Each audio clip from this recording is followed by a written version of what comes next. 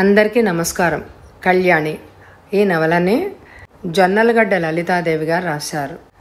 December పంతొమ్మిది వందల ఎనభైలో ఫస్ట్ ఎడిషన్ వచ్చింది. చదువుతున్నది దేవి. ఇంకా నవల్లోకి వెళ్తే అది రాధాకృష్ణ ఎలిమెంటరీ స్కూల్. ఆ స్కూల్ ఊరికి మధ్యగానే ఉన్న విశాలమైన ఖాళీ స్థలంలో చుట్టూరా పూల మొక్కలతో ఎంతో ఆకర్షణీయంగా ఉంటుంది. స్కూల్ ప్రారంభిస్తుండగా అదరా బదరా పరిగెత్తుకున్నట్టు వచ్చింది కళ్యాణి. రిజిస్టర్లో సంతకం చేసి పిల్లలందరి అటెండెన్స్ రిజిస్టర్ పట్టుకొని గబగబా క్లాస్లోకి వెళ్తున్న చంద్రకాంత్ కళ్యాణిని చూసి టక్కున ఆగిపోయి ఏం కళ్యాణి ఇంత ఆలస్యం? అని అడిగాడు మెల్లగానే. ఆమెకి మాత్రమే వినిపించేటట్లు. ఏముంది ఈరోజు రిక్షా వారి సమ్మె కదూ? బస్సులు చాలా రద్దీగా ఉన్నాయి. బస్సు అందుకొని ఇక్కడ పడేసరికి శరీర భాగాలన్నీ సరిగ్గా ఉన్నాయో లేవో అనుమానంతో హైరాణగా ఓ అరుగు మీద చతికిలబడేసరికి ఈ సమయం అయింది అంటూ నీరసంగా నవ్వింది. ఇంకా నయం నీ శరీర భాగాలకి డ్యామేజీ అవ్వలేదు. అందుకు సంతోషించు. నేను ఆ జనంలోంచి తోసుకుంటూ దిగడంలో చూడు అంటూ ఓ మోచేయి చూపించాడు చంద్రకాంత్. కళ్యాణి కళ్ళు గిర్రున తిరిగాయి. అంగుళం లోతుందా గాయం? దేనికైనా తగిలిందా? అని అడిగింది బాధగానే. మరే అంటూ నవ్వి ఫుల్ హ్యాండ్ షర్టు తిరిగి మోచేతి వరకు లాక్కుని క్లాస్లో కలకలం విని గబగబా వెళ్ళిపోయాడు చంద్రకాంత్. ఏం జీవితాలు? చదివిన చదువులకి సరైన గుర్తింపు లేని ఉద్యోగాలు. లేకపోతే MA first class English diploma పొందిన చంద్రకాంత్ దిక్కు దివాణం లేక ఈ స్కూల్లో లెక్కలు ఇంగ్లీష్ చెప్పేందుకు సిద్ధపడ్డాడు అంటే ఎందుకలా వేలు ఖర్చుబట్టి తల్లిదండ్రులు రక్త మాంసాలు ఓడ్చి చదివించారా? అని అనిపిస్తుంది. తను బిఏ ఫస్ట్ క్లాస్లో పాస్ అయింది. ప్రైవేటుగా ఎంఏ చదువుతోంది. రేపు తనకి అంతే. ఈ ఉద్యోగం తప్ప వేరే గతి లేకపోతే ఏం చేస్తుంది? ఎక్కడికక్కడ రాజీ పడుతూ చివరికి తను ఎంఏ అన్న విషయం కూడా మర్చిపోతుంది. అని అనుకుంటూ తన క్లాస్కి వెళ్ళిపోయింది కళ్యాణి. టీచర్గా క్లాస్లోకి అడుగు పెట్టగానే పిల్లలంతా నోటి మీద వేళ్ళేసుకుని తమ నెంబర్లు వచ్చినప్పుడు ప్రజెంట్ చెప్పి కూర్చుంటున్నారు. హోంవర్క్ చేశారా? కళ్యాణి క్లాస్ అంతా కలియ చూస్తూ అడిగింది. చేశామన్నట్టు తలలోపి పుస్తకాలు అక్కడ టేబుల్ మీద పెట్టేశారు. ఏం రంగారావు హోంవర్క్ చేయలేదా? అని అడిగింది కళ్యాణి.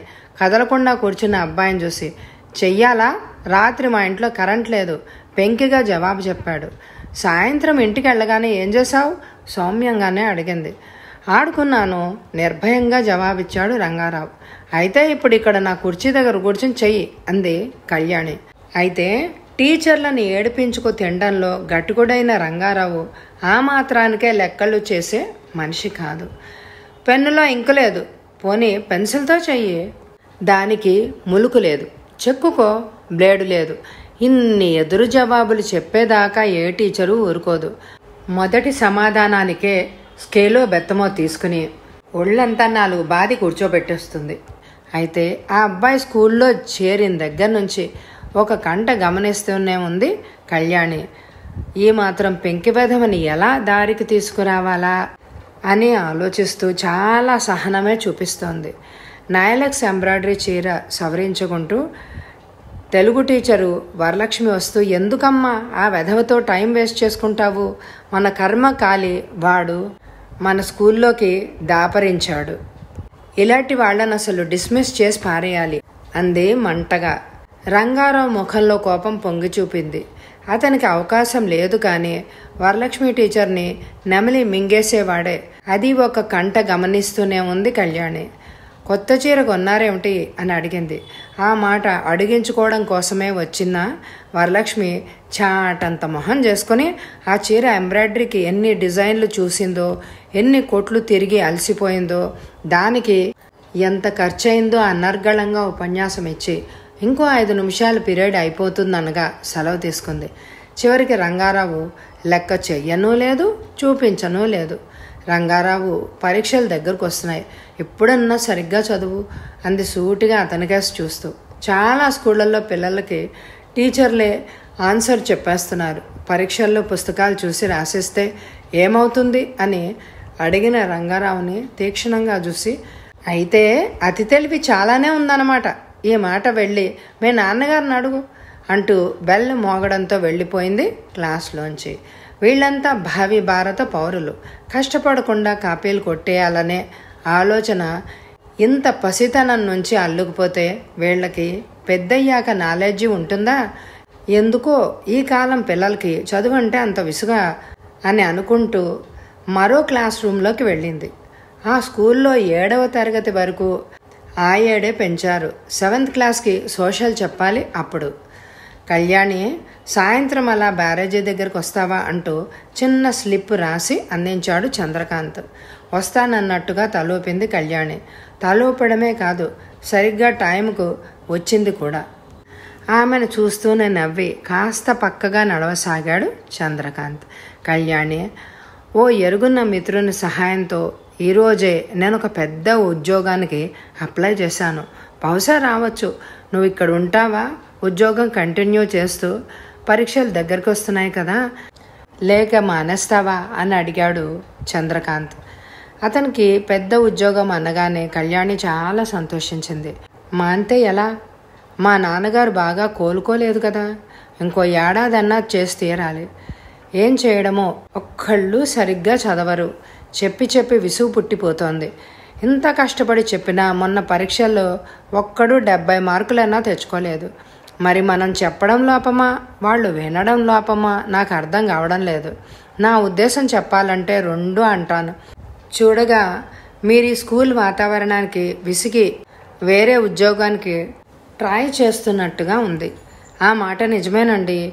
ఈ పిల్లలతో మనం వేగలేం అన్నాడు నవ్వుతూ చంద్రకాంత్. అయితే మీరు వెళ్ళిపోతారన్న మాటేగా? బేలగా అడిగింది. ఆ వెళ్ళక తప్పదు. ఉద్యోగంలో షూర్ అని నా అంతరాత్మ గట్టిగా చెప్తోంది. శుభం. మీరు ఉన్నతోద్యోగంలో ఉండడం నాకు చాలా సంతోషం అంటూ నవ్వి చీకటి పడింది.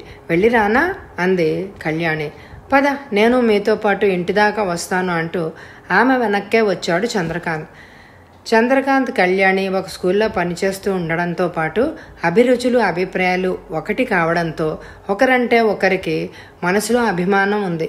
అంతవరకే ఏనాడు ఆ ఇద్దరిలోనూ హద్దు దాటి ప్రవర్తించలేదు ఎవరు లోపలికి రండి అంటూ ఆహ్వానించింది. ఇల్లు చేరగానే కాస్త బిడియంగానే లోపలికి వచ్చాడు అప్పటికి కళ్యాణి తండ్రి చక్రపాణి ఇంట్లో లేడు.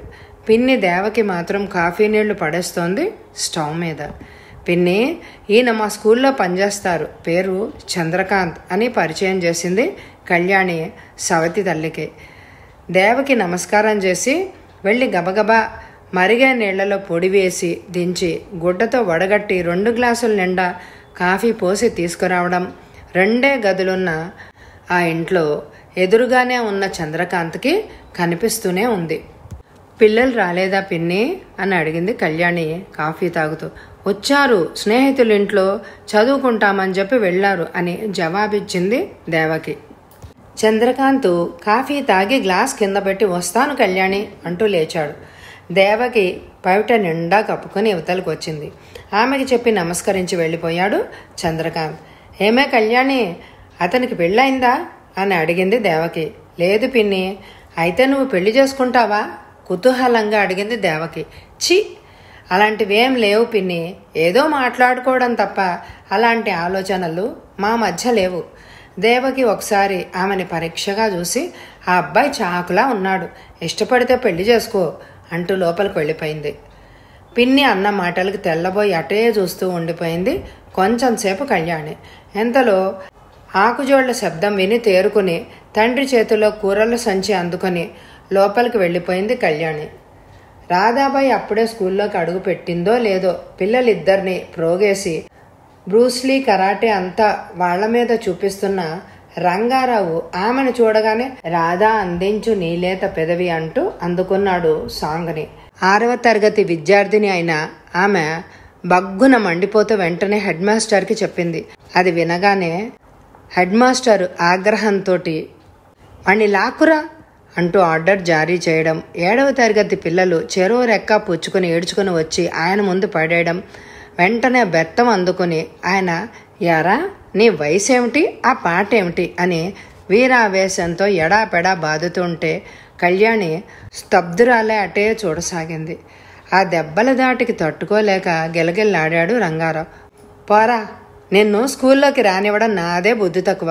ఇన్నాళ్ళు టీచర్లను ఏడిపించుకో తిన్నది చాలక ఆడపిల్లల్ని ఏడిపించడం దాకా వచ్చిందన్నమాట నీ తెలివి. పో అవతలకి వెళ్ళి మీ నాన్నని పిలుచుకురా.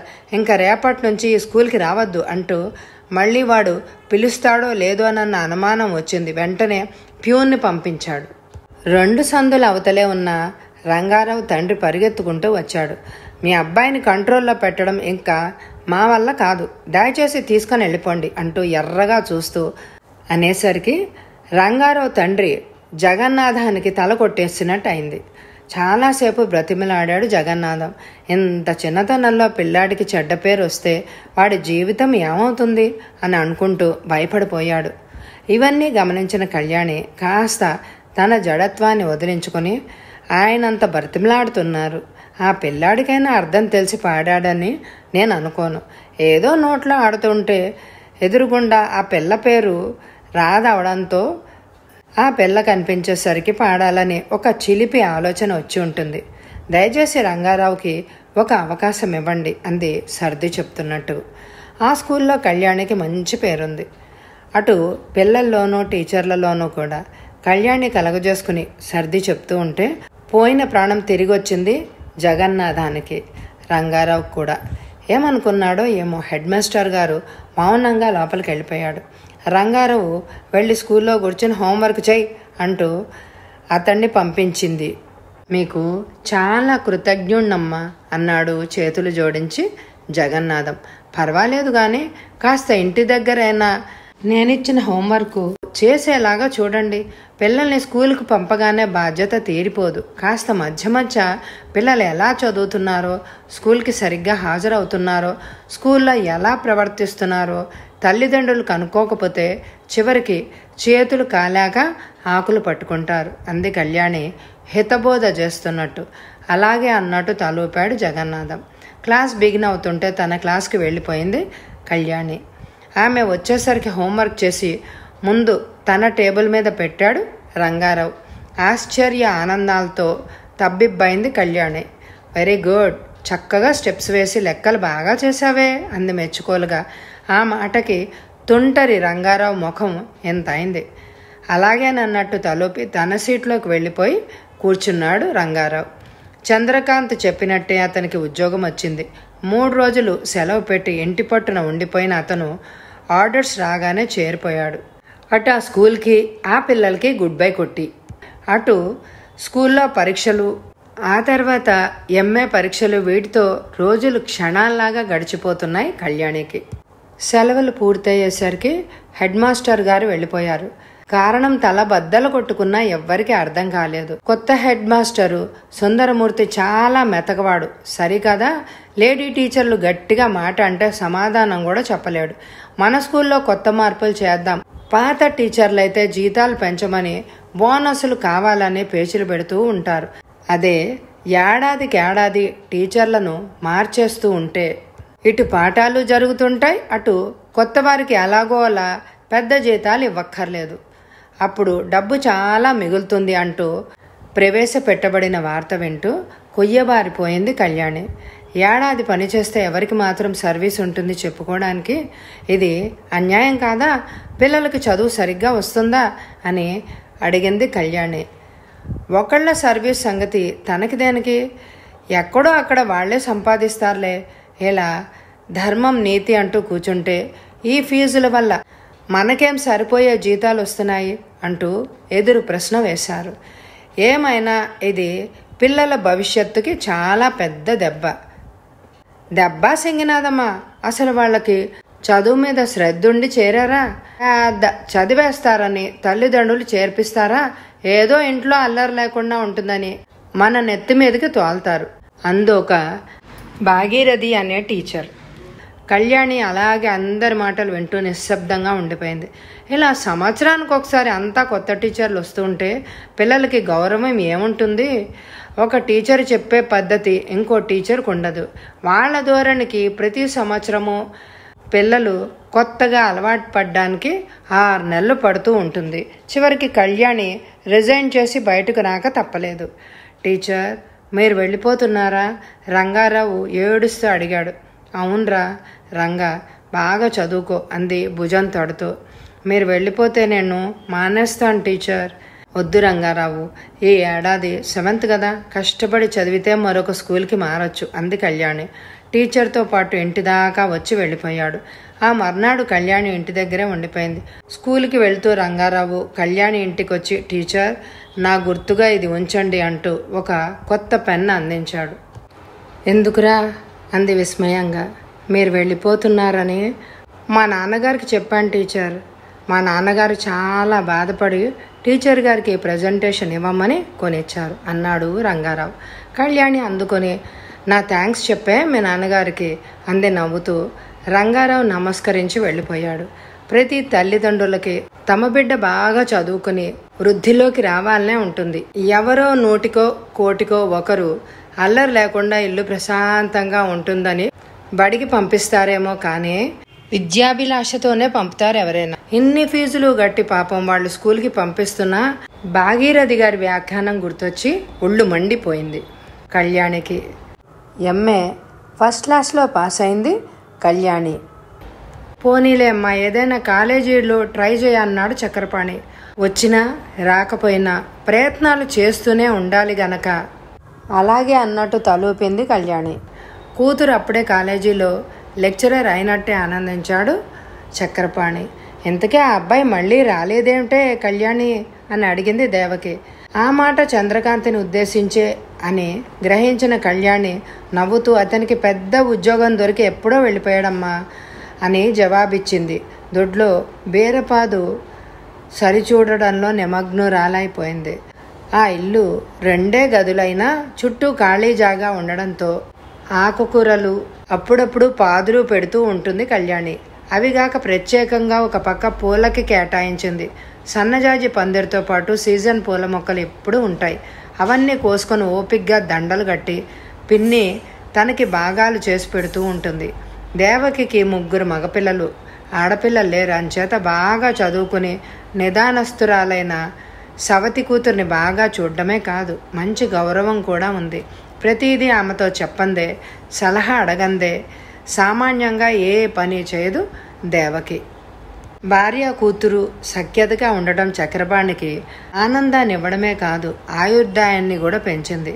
బీరకాయలు ఆరు కోసి ప్లాస్టిక్ బుట్టలో పెట్టి తెచ్చి పిన్నికిస్తూ ఈ పూట కూర వండు పిన్ని చక్కగా ఫ్రెష్గా ఉన్నాయి అంది నవ్వుతూ కళ్యాణి. వండుతాను కానీ ఏ కాయ చేదుగా ఉన్నా మొత్తం కూర అంతా పాడైపోతుంది. అప్పుడు కూర అంతా నువ్వే తినాలి మరి అంటూ వంటిట్లోకి వెళ్ళిపోయింది దేవకి.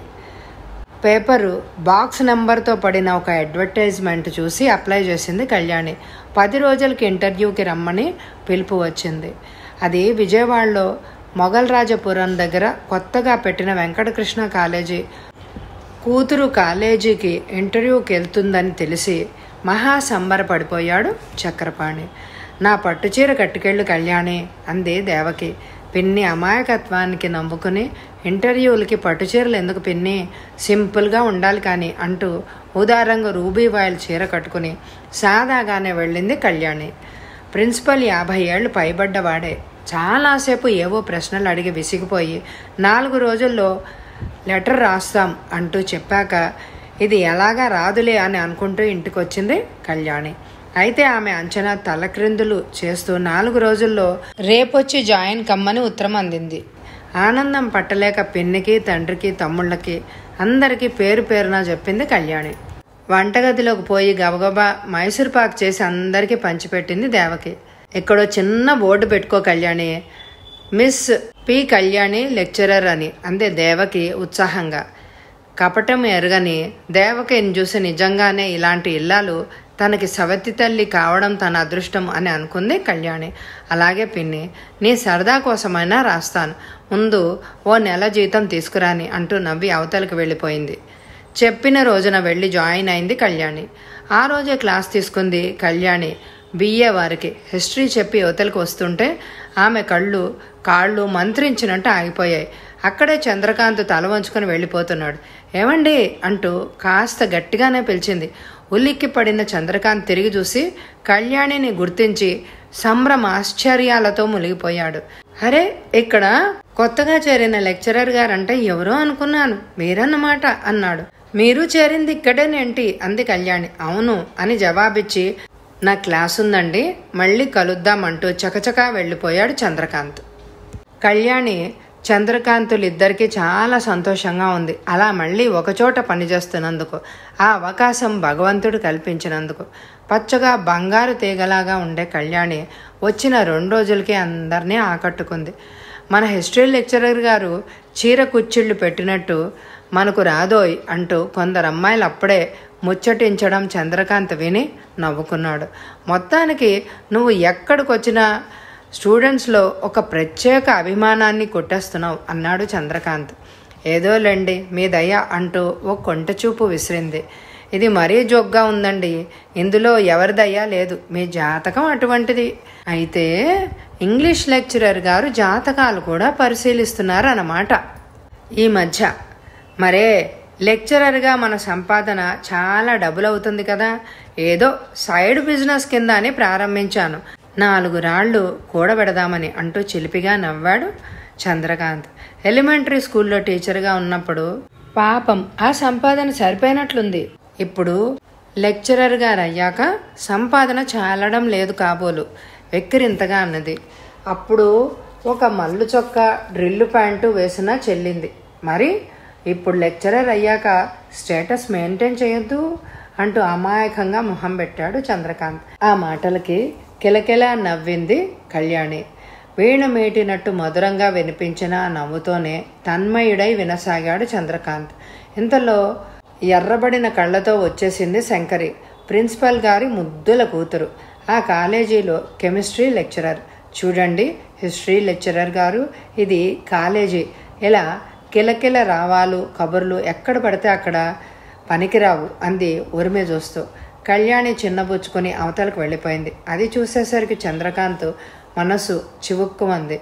మీరేంటి? ఇలా పబ్లిక్గా ఆడపిల్లలతో హస్కులు కొడుతున్నారు? అని అడిగింది తీక్షణంగా. ఏ స్టూడెంట్ అన్నా ఈ మాట విన్నాడేమో. రేపు చెవులకి తడకలు కడతాడని హడిలిపోయిన చంద్రకాంత్ బెరుగ్గానే అవతలకి వెళ్ళిపోయాడు ఇదిగో మిమ్మల్నే కింద గులకరాళ్ళు లెక్క పెడుతున్నట్లు అలా తలవంచుకుని పోతారేమిటి? పదండి వెయిటింగ్ రూమ్లోకి. కాస్త కాఫీ తాగుదురుగాని అంటూ కంగుమంది వెనక నుంచి చంద్రకాంత్ మౌనంగానే ఆమెను అనుసరించాడు.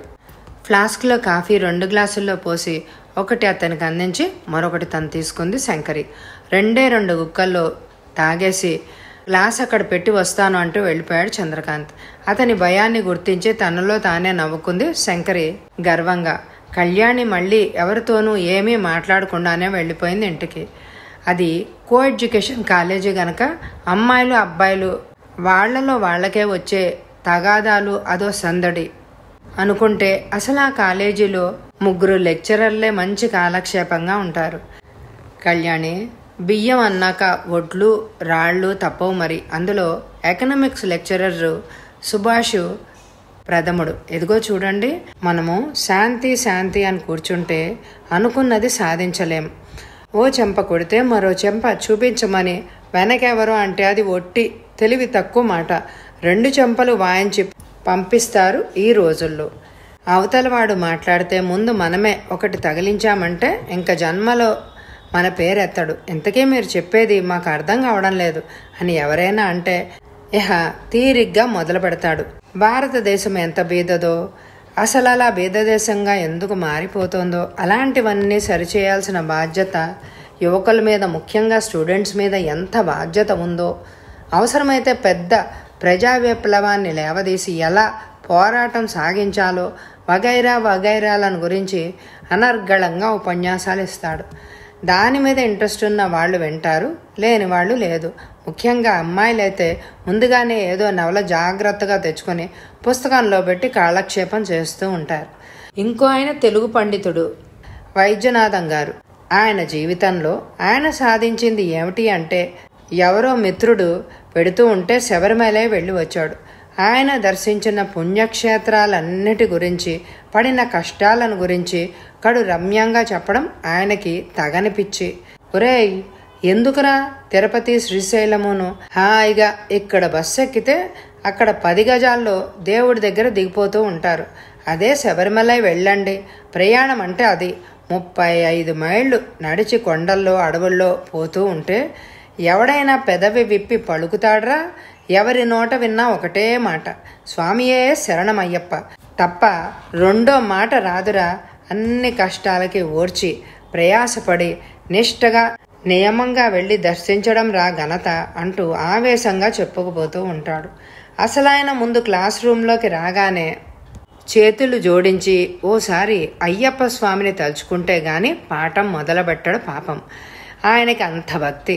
ఆయన చాదస్తానికి అందరూ పగలబడి నవ్వుకుంటూ చివరికి ఆయనకు అయ్యప్పగా పేరు స్థిరపరిచారు.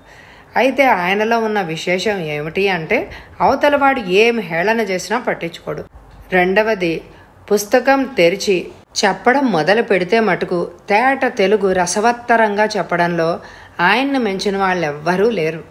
అంచేత ఆయన భక్తి మోతాదు మించిపోయినా ప్రతివారు క్లాసులో నిశ్శబ్దంగా ఉంటారు. బహుశా అయ్యప్ప దేవర ఆయన భక్తికి మెచ్చి ఆ వరం ప్రసాదించి ఉంటాడు. మూడవ ఆయన రామారావు ఫిజిక్స్ లెక్చరర్. మొదట్లో ఆయన రామారావు స్వచ్ఛమైన తెలుగువాడు. మతం మార్చుకొని క్రిస్టియన్ అయ్యి డేవిడ్ రావ్ జాన్గా మారిపోయాడు. అతనికి అంతో ఎంతో సాహిత్యం పిచ్చి ఉంది. అయితే ఏ ఎడిటర్ గారు ఆయన రచనని ప్రోత్సహించకపోవడంతో గుట్టలు గుట్టలుగా పడి ఉన్న తిరిగి వచ్చినవన్నీ చూసి మతి పోగొట్టుకున్నాడు. ఇంటర్ క్లాసులో ఆయన వేసే ఎదురు ప్రశ్నలకు పాపం కొత్తగా కాలేజీలో చేరిన ఆ కుర్రవాళ్ళు ఏం చెప్పగలరు? దేవుడు అంటే యేసు ప్రభవే. ఏడి రాముడు? కృష్ణుడు? ఆయనలాగా సిలువ వేయబడ్డారా? పాపుల్ని క్షమించారా? ప్రేమించారా? చెప్పండిరా అంటూ బల్ల గుద్ది అడుగుతూ ఉంటే రాముడు కృష్ణుడు ఏం చేశారో? ఏం చేయలేదో. చేసినవి ఎందుకు చేశారో ఇవన్నీ ఏవి ఆమూలాగ్రం చదవని తెలియని అర్భకులు ఏం చెప్పగలరు? పాప నోరు తెరిచేసేవారు.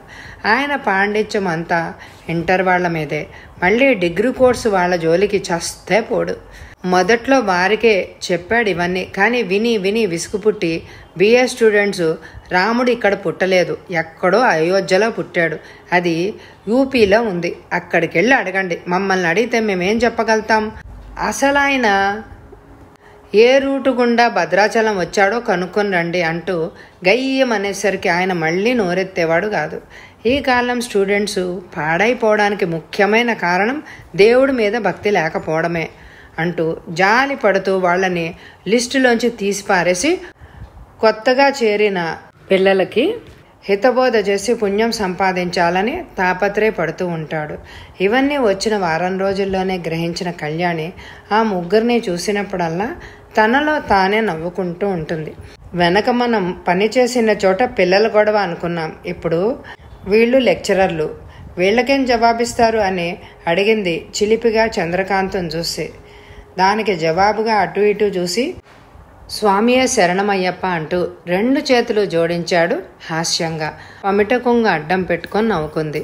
ఆ అయ్యప్ప గారి వల్ల మనకేం డేంజర్ లేదు కానీ ఆ మిగిలిన ఇద్దరే స్టూడెంట్స్లో వైషమ్యాలు మత విద్వేషాలు రగిలించి వాళ్ళ బంగారు భవిష్యత్తుని గొడ్డలు పెట్టి పెడతారేమోనని భయంగా ఉంది. స్టూడెంట్స్ ఏముంది? ఆవేశం తప్ప అద్దం లాంటి వాళ్ళ హృదయాల్లో మకిలి పట్టిస్తే దోషం కాదా? ఆవేశంగా అడిగింది కళ్యాణి. Stop stop. ఆ రెండవ ఆయన అదే డేవిడ్ జాన్ గారిది కాస్త మెంటల్ ఎఫెక్ట్ అనుకో. ఎటొచ్చి ఆయనే ది గ్రేట్ సుభాష్ గారు? ఆ ఆయన కాస్త మతి చెలించిందని మనం అనుకున్న పిల్లలకు తెలియదు. ఆయన ఫిజిక్స్ చెప్పే విధానం చూస్తూ ఉంటే ఆయనకి మెంటల్ ఎఫెక్ట్ అని ఎవ్వరూ అనుకోరు. అంది ఖరారుగా కళ్యాణి. అయితే ఏం చేయమంటావు? ఏదో విధంగా వాళ్ళని ఎదుర్కొని వాళ్ళ అభిప్రాయాలు ఆ పిల్లల మీద రుద్దకుండా చూడాలి. అంది పట్టుదలగా కళ్యాణి. చూద్దాం అది ఏ విధంగా ప్రారంభిస్తే బాగుంటుందో అంటూ ఆలోచిస్తూనే వెయిటింగ్ రూమ్లోకి వెళ్ళిపోయాడు. క్లాస్ లేదు కనుక. కళ్యాణికి క్లాస్ ఉంది కనుక అటు వెళ్ళిపోయింది. ఏ విధంగా ఇద్దరికి నచ్చ చెప్పి వారి అభిప్రాయాల్ని స్టూడెంట్స్ మీద రుద్దకుండా చేయాలని ఆలోచిస్తారు. దేవకి గుత్తి వంకాయ కూర వండు కాయలు మహా ముద్దుగా ఉన్నాయంటూ దొడ్లో కాసిన వంకాయలు పళ్ళెంలో కోసి తీసుకొచ్చాడు చక్రపాణి. ఆ రోజు ఆదివారం కనుక కళ్యాణి ఇంట్లోనే ఉంది. దొడ్లో పంపు దగ్గర బట్టలను జాడించి ఆరవేస్తోంది. చక్రపాణి భార్యతో ఆ కబురు ఈ కబురు చెప్తూ కూర అయ్యేదాకా అక్కడే కూర్చుని అది అవగానే ఆవురావురమంటూ భోజనం చేయసాగాడు. భర్తకి కొసరి కొసరి తినిపిస్తూ దేవకి పక్కనే కూర్చుంది. బట్టలు ఆరవేసి గదిలోకి వెళ్ళిపోయి రేపు చెప్పవలసిన పాఠాలను గురించి ప్రిపేర్ అవుతోంది కళ్యాణి. ఇంతలో వాకిట్లో రిక్షా ఆగిన శబ్దమైంది. ఎవరా అని ఆశ్చర్యంగా బయటకు వచ్చింది దేవకి. పూర్తిగా అరవకట్టుతో ఒక నలభై నలభై ఐదేళ్ళ స్త్రీ ఓ ఇరవై రెండేళ్ళ యువతి ఓ పద్దెనిమిది పంతొమ్మిది సంవత్సరాల యువకుడు గుమ్మంలో నిలబడి ఉన్నారు. చక్రపాణి అయ్యర్దా వీడు? ఇదిదానే అందా స్త్రీ. ఆయన అయ్యరు కాదు మేం తెలుగు వాళ్ళం. ఆ పక్క సందులో ఎక్కడన్నా ఉన్నారేమో కనుక్కోండి అంది దేవకి. చక్కెరపాణి వీడు అంది ఈసారి ఆ యువతి. ఇది వింటూ గదిలోంచి బయటకొచ్చిన కళ్యాణి పిన్ని అరవన్లో వీడు అంటే ఇల్లు అనే అర్థం. నాన్న పేరే అడుగుతున్నారు కనుక లోపలికి రమ్మను అంది. రండి అంటూ తనే ఆహ్వానించింది కూడా. ఆ ముగ్గురు లోపలికొచ్చారు. మూడు కుర్చీలు తెచ్చివేశాడు దేవకి పెద్ద కొడుకు వసంత్. చొక్కా వేసుకుని లోపల నుంచి వచ్చాడు. చిన్న కొడుకు కూడా. అంతవరకు కళ్యాణినే రెప్పవాల్చకుండా చూస్తున్న ఆ యువతి చక్కెరపాణిని చూడగానే తటాలు నా రెండు కాళ్ళకే నమస్కరించింది. అది చూసి తెల్లబోయాడు చక్కెరపాణి మాట పలుకు లేకుండా అట్టే నిలబడిపోయిన చక్కెరపాణిని చూస్తూ నీకు నేను గుర్తులేనా? అని అడిగింది ఆమె. ఆ ప్రశ్నకు తెల్లబోయాడు చక్కెరపాణి యాభై ఏళ్ళు దాడుతున్న తనని నువ్వు అంటూ పిలిచే ఆ అపరిచితురాలు అరవ పిల్లనే గమనించసాగాడు. మద్రాసులో రామనాథం అయ్యన్ డాటర్గా పుట్టి తిని అవన్ ఎన్ అమ్మ అండాళ్ అవన్ తంబి సుందరం అంటూ ఆమె ఏదో చెప్పబోయేలోగానే అందుకున్నాడు చక్రపాణి. నువ్వు చెప్పేదేమిటో నాకు ఒక్క అక్షరం కూడా అర్థం కావడం లేదు అంటూ. ఇక లాభం లేదని అరవై యాసని బలవంతంగా సర్దుకుంటూ ఏం అర్థం కాదు. వెనక నీ భార్యను నేనే. బిడ్డను కని పదహారవ రోజున బారసాల కూడా చేసుకుంటుమి. నా పొన్ను పేరు నా కళ్యాణి అంటూ గుక్క తిప్పుకోకుండా చెప్తున్న ఆమె మాటలు వింటూ అంతా స్టన్ అయిపోయారు. చక్రపాణి వెరివాళ్ళాగా చూస్తూ ఉండిపోయాడు. కళ్యాణి యువతలకు వచ్చి ఆమె దగ్గరికి వచ్చి ఒళ్ళంతా కళ్ళు చేసుకొని చూడసాగింది. నువ్వు నువ్వే కదూ కళ్యాణివి? నా కూతురివి అంటూ కళ్యాణికేసి ఆర్ద్రతగా చూడసాగింది ఆమె. అవును నా పేరు కళ్యాణి. అయితే నువ్వు అంటూ ఎలా పూర్తి చేయాలో తెలియక బిక్కమొహం వేసుకుంది కళ్యాణి. ఆ యువతి కళ్ళ వెంట నీళ్ళు తిరిగాయి. అవును నేనే నేను తల్లి పార్వతిని. ఇప్పుడు ఆ ఇంట్లో శాంతను అంది కళ్ళు తుడుచుకుంటూ. దేవకి చేష్టలు దక్కి చూడసాగింది. చక్రపాణికి ఏమిటో అంతా అయోమయంగా ఉంది మాయగా ఉంది. గందరగోళంగా గాబరాగా తోచి నిస్త్రాణగా కుర్చీలో కూలబడిపోయి అలాగే అంటుకుపోయాడు. నీకు నమ్మకం లేదా అని అడిగింది శాంత చక్రపాణి కేసి చూస్తూ. అసలేం చెప్పాలన్నా చక్రపాణి కంఠం పెకిలి వస్తేగా అతని మౌనం చూసి ప్రూఫ్ కావాలా అని అడిగింది. చక్రపాణి ఇంకా అలాగే వెర్రివాళ్ళాగా చూస్తూనే ఉన్నాడు. నీకింకా నమ్మకం లేకపోతే అక్కడ అటక మీద ఓ పెట్టి ఉంది. దాంట్లో వెయ్యి రూపాయలు ఉన్నాయి చూడు అని అంది. అప్పటికి కాస్త ప్రపంచంలో పడినట్టు చక్రపాణి వసంత అటక మీద పెట్టి తీసుకురా అన్నాడు క్షీణ స్వరంతో వెంటనే నిత్యం తెచ్చి ఎక్కి ఆ పెట్టెను తీసుకొచ్చాడు వసంత్. దానికి తాళం వేసి ఉంది. అది బాగా పాతబడిపోయి తుప్పు పట్టడంతో సుత్తి తెచ్చి గట్టిగా ఒక్క దెబ్బ వేసేసరికి ఠక్కున ఊడి వచ్చింది. చక్కర్పాణి ఉద్వేగంతో ఆ పెట్టె గబాలన లాగి తీసి చూశాడు. ఒక ఎర్రని గుడ్డమూట కనిపించింది. అది విప్పేసరికి పది రూపాయల నోట్లు మూడు వందల రూపాయల నోట్లు దర్శనమిచ్చాయి. అందరూ ఆశ్చర్యభరితులే అట్టే నించుండిపోయారు చక్రపాణి తల గిర్రున తిరిగిపోతోంది. పైన ఆకాశం కింద భూమి తలకిందులై తను అందులో పడి నలిగిపోతున్నట్టు ఫీల్ అయింది దేవకి. ఇంతకంటే ఆశ్చర్యం ఏమైనా ఉందా? వింత ఏమన్నా ఉందా? ఇరవై రెండో ఇరవై మూడో సంవత్సరాల క్రితం ఆడపిల్లను కని తన బాధ్యత అంతటితో తీరిపోయిందంటూ తను చాలించుకున్న తన భార్య పార్వతి మళ్ళీ ఈ విధంగా ఎక్కడో పుట్టి యవ్వనంలో మెసమెసలాడుతూ ఇలా నీ భార్యను వెనక నేనే అంటూ ప్రత్యక్షం అవుతుందని ఎవరైనా ఊహిస్తారా? పైగా మద్రాసులో అయ్యర్ గారింట పుట్టిందట. ఇంతకీ తనది నమ్మి తీరాల్సిందేనా? నమ్మక చేసేదేమీ లేదు. ఏదో అటక మీద మూలనున్న ఆ పెట్టెలో వెయ్యి రూపాయలు ఉన్నాయని ఇన్నేళ్ళ నుంచి ఈ ఇంట తిరిగే తామెవరైనా కనుక్కోగలిగారా? అది పార్వతి పుట్టింటి నుంచి బొట్టు పెట్టి అంటూ తెచ్చుకుంది. ఆ పార్వతి జ్ఞాపకాలు తనకి తరిగిపోయి చాలా ఏళ్ళయింది ఆ మూల పెట్టి ఎవరు ముట్టుకోలేదు. అంటే ఒక విధంగా ఆశ్చర్యమైన ఆమె వస్తువులు తాకరాదనే నిబంధన దేవకికి అంతర్గతంగా ఉండి ఉంటుంది. ఆ ఒట్టు పెట్టి అలాగే ఉంచేసింది. నువ్వు డబ్బు అక్కడ ఎలా దాచావు? అని అడిగాడు చక్రపాణి. నేను కాపరానికి వచ్చిన దగ్గర నుంచి కూడబెడుతూ వచ్చాను. పెద్ద మొత్తాలు అవగానే మీ జీతం వచ్చినాడు నోట్లు అందులో పడేసి చిల్లర తీసుకుంటూ ఉండేదాన్ని. దాన్ని పురిటికి వెళ్తూ నేనే భద్రంగా అక్కడ పక్కింటి వారి అమ్మాయి చేత అటక మీద బాగా మూలగా పెట్టించి వెళ్ళిపోయాను అంటూ శాంత అరవం సగం తెలుగు సగం రంగరించి చెప్పిన దాని సారాంశం వింటూ స్తబ్దుడైపోయాడు చక్రపాణి. గోడకి వల్లిలాగా అతుక్కుపోయి కళ్ళప్పగించి చూస్తూ చెవులప్పగించి వెండం తప్ప దేవకి కంఠం పెకిలి ఏ మాట బయటికి రావడం లేదు. సూట్ కేస్ తెచ్చి అందులోంచి దోవతలు రెండు తీసి చక్రపాణి చేతిలో పెట్టింది. శాంత ఓ చీర తీసి కళ్యాణికి ఇచ్చింది. మరో చీర తీసి దేవకి దగ్గరగా వెళ్ళి తీసుకో అక్క అంటూ అందించింది. చక్రపాణి ఒక్కసారి దేవకి కేసి తిరిగాడు. తెల్లగా పాలిపోయిన ఆమె ముఖం ఆమెను చూస్తే జాలేసింది. కళ్యాణికి ఆ వాతావరణం అంతా ఏదో భయంకరంగా తోచింది. మీరు భోన్ చేశారా లేదా ముందు? కాళ్ళు కడుక్కు రండి అంటూ లేవదీసి లోపలికెళ్ళి వసంత్ ఫ్లాస్క్ నిండా కాఫీ పట్టుకురా అంటూ ఫ్లాస్కు డబ్బులు చేతిలో ఉంచింది. తూనీగలాగా పరిగెత్తాడు వసంత్.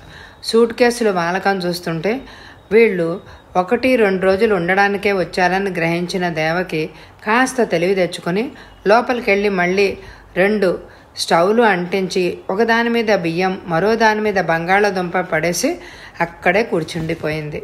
ముగ్గురు కాళ్ళు కడుక్కుని కుర్చీలో కూలబడేసరికి వసంత్ కాఫీతో వచ్చాడు. కళ్యాణే మూడు కప్పుల్లో పోసి ఇచ్చింది. ఏం చేస్తున్నావు? అని అడిగింది శాంత కళ్యాణిని. కాలేజీలో లెక్చరర్ని నేను ఒక కంపెనీలో పనిచేస్తున్నాను. నేను బీకామ్ పాస్ అయ్యానంటూ కాఫీ తాగుతూ చెప్పింది శాంత. కళ్యాణి ఆమెనే పరీక్షగా చూస్తోంది. మనిషికి పూర్వ జ్ఞానం ఉంటుందని గర్భస్థ శిశువుగా ఉన్నంత వరకు ఆ జ్ఞానం ఉండి భూమి మీద పడగానే అది పోగొట్టుకుంటామని వెనకెప్పుడో ఎవరో అన్నట్టు గుర్తు. అది ఈమెకి ఇప్పటికీ ఉండి ఉండడం అది తన తల్లే కావడం ఇదంతా ఏదోగా అనిపిస్తోంది కళ్యాణికి. తనకి ఐదేళ్ళు వచ్చాక నాన్న పిన్నిని పెళ్ళాడాడు. వెంటనే కొడుకుని కన్నాడు. ఆ బిడ్డతో సమానంగా తనకి ఏ లోటు లేకుండా పెంచింది పిన్ని. ఇప్పుడు తన వయస్కురాలే అయిన ఆమె నేనే నీ కన్న తల్లిని అంటూ వస్తే ఎలా అర్థం చేసుకోవాలి? ఏమనుకోవాలి? చివరికి కాలేజీలోనే అన్ని వింతలు అని అనుకుంటే ఇప్పుడు తన జీవితంలో ఎవరికి సంభవించని విడ్డూరాలు. వంట చేసి భోజనాలు అయ్యాయి అనిపించింది దేవకి. ముగ్గురు వచ్చారు ముభావంగానే వడ్డించింది. ఆ గదిలోనే కొంగుపరుచుకొని పడుకుంది దేవకి. వాళ్ళు తిని లేచాక వాళ్ళు భోజనాలు చేసి వచ్చేసరికి చేపలు వేసి ఉంచింది కళ్యాణి. చక్రపాణి వాళ్ళు భోజనాలకు వెళ్ళగానే పంచలు బీర్వాలో పెట్టి బట్టలు వేసుకుని బయటికి వెళ్ళిపోయారు ముగ్గురు ప్రయాణ బడలికలో నిద్రలోకి జారిపోయారు. తను నిద్రపోవాలని విశ్వ ప్రయత్నం చేసి సాధ్యంగాక ఊరికే పడుకుంటే మళ్ళీ ఆలోచనలు కమ్ముకు రావచ్చని చదివిన నవలే చదువుతూ కూర్చుంది కళ్యాణి.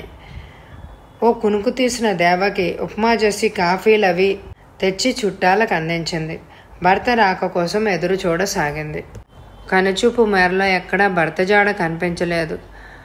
ఉసూరుమంటూ మళ్ళీ లోపలికెళ్ళి రాత్రి వంట ప్రారంభించింది. ఇలాంటి విషమ సమస్య ఎవరికైనా ప్రాప్తిస్తుందా? ఇప్పుడు ఆయన గారు ఏం చేస్తారు? ఆ పోయిన పెళ్ళం తిరిగి అవతారం ఎత్తిందని పార్వతి పార్వతి అంటూ దేవదాసులాగా కలవరిస్తాడా అని అనుకుంటూ చెదిరిన మనసుతోనే వంట చేసింది దేవకి. పిన్ని మానసిక స్థితి ఊహిస్తూ మనసులోనే సానుభూతి చూపిస్తూ వాళ్ళతో మాట్లాడకపోతే ఏం బాగుండదని వాళ్ళ దగ్గరకు వచ్చి మీరు స్నానాలు ఏమైనా చేస్తారా? అని అడిగింది. చేస్తాం అన్నట్టు తల ఊపి సూట్ కేసులోంచి చీర అవి తీసుకున్నారు. నీళ్ళు చెంబు అందించి పిన్ని కూరలు ఏమైనా తరిగి పెట్టనా? అంటూ దేవకి దగ్గరకు వచ్చింది కళ్యాణి. దొడ్లో బెండకాయలు ఏమన్నా ఉన్నాయేమో చూడు కూరలు ఏం లేవు. గబగబా బెండ చెట్లని శల్య పరీక్ష చేసి కాయలు ఉన్నంత మటుకు కోసిచ్చింది కళ్యాణి. వంట అంతా అయ్యి స్నానం చేసి భర్త కోసం నిరీక్షిస్తూ కూర్చుంది దేవకి. ఎనిమిది గంటలకు వచ్చాడు చక్కెరపాణి వచ్చి స్నానం చేసి స్థిమితపడి మీరు భోజనం చేశారా? అని అడిగింది. లేదు. ముందు అన్నం తినమంటే తింటామన్నారు అంటూ కళ్యాణి అందుకని జవాబిచ్చి అందరికీ వడ్డించింది భోజనాలు చేస్తూ పరీక్షగా ఒకసారి దేవకి కేసి చూశాడు. మొహమంతా పీక్కుపోయింది పాపం. ఆమెకి ఇదొక గొప్ప షాకు అని అనుకున్నాడు చక్రపాణి. రేపు ఉదయం దుర్గగుడి అవి చూసి వస్తారట అంది కళ్యాణి వాళ్ళ తరఫున. శాంత భోజనం చేస్తున్న కళ్ళు చూపు మాత్రం చక్రపాణి మీదే ఉన్నాయి. బహుశా రెండు దశాబ్దాల కిందట తామిద్దరు కూర్చుని భోంచేసిన సంఘటనలన్నీ గుర్తొచ్చుంటాయి. చివరిగా కళ్యాణి దేవకి భోజనాలు చేశారు. పిన్ని నువ్వేదో మనసులో పెట్టుకుని బాధపడుతున్నట్టుగా కనిపిస్తున్నావు. అనవసరంగా అతిగా ఊహించి బుర్ర పాడు చేసుకోకు. అసలు వాళ్ళు ఎందుకు వచ్చారో మనకి చెప్పనే లేదు అంది ఓదార్పుగా. చెప్పలేదు కనుకే సస్పెన్స్ మూలాన రకరకాల ఊహలు వస్తున్నాయి. సూటిగా ఇది అని చెప్తే ఎన్ని ఆలోచనలు రావు అని జవాబిచ్చింది దేవకి. ఆ మాట నిజమే అంటూ ఒప్పుకుని అక్కడ పనులన్నీ పూర్తి కాగానే వెళ్ళి పడుకుంది కళ్యాణి. ఆ అవర్ ఖాళీ గనక వెయిటింగ్ రూమ్లో కూర్చుంది కళ్యాణి. పక్క రూమ్లోంచి మాటలు జోరుగా వినపడుతున్నాయి.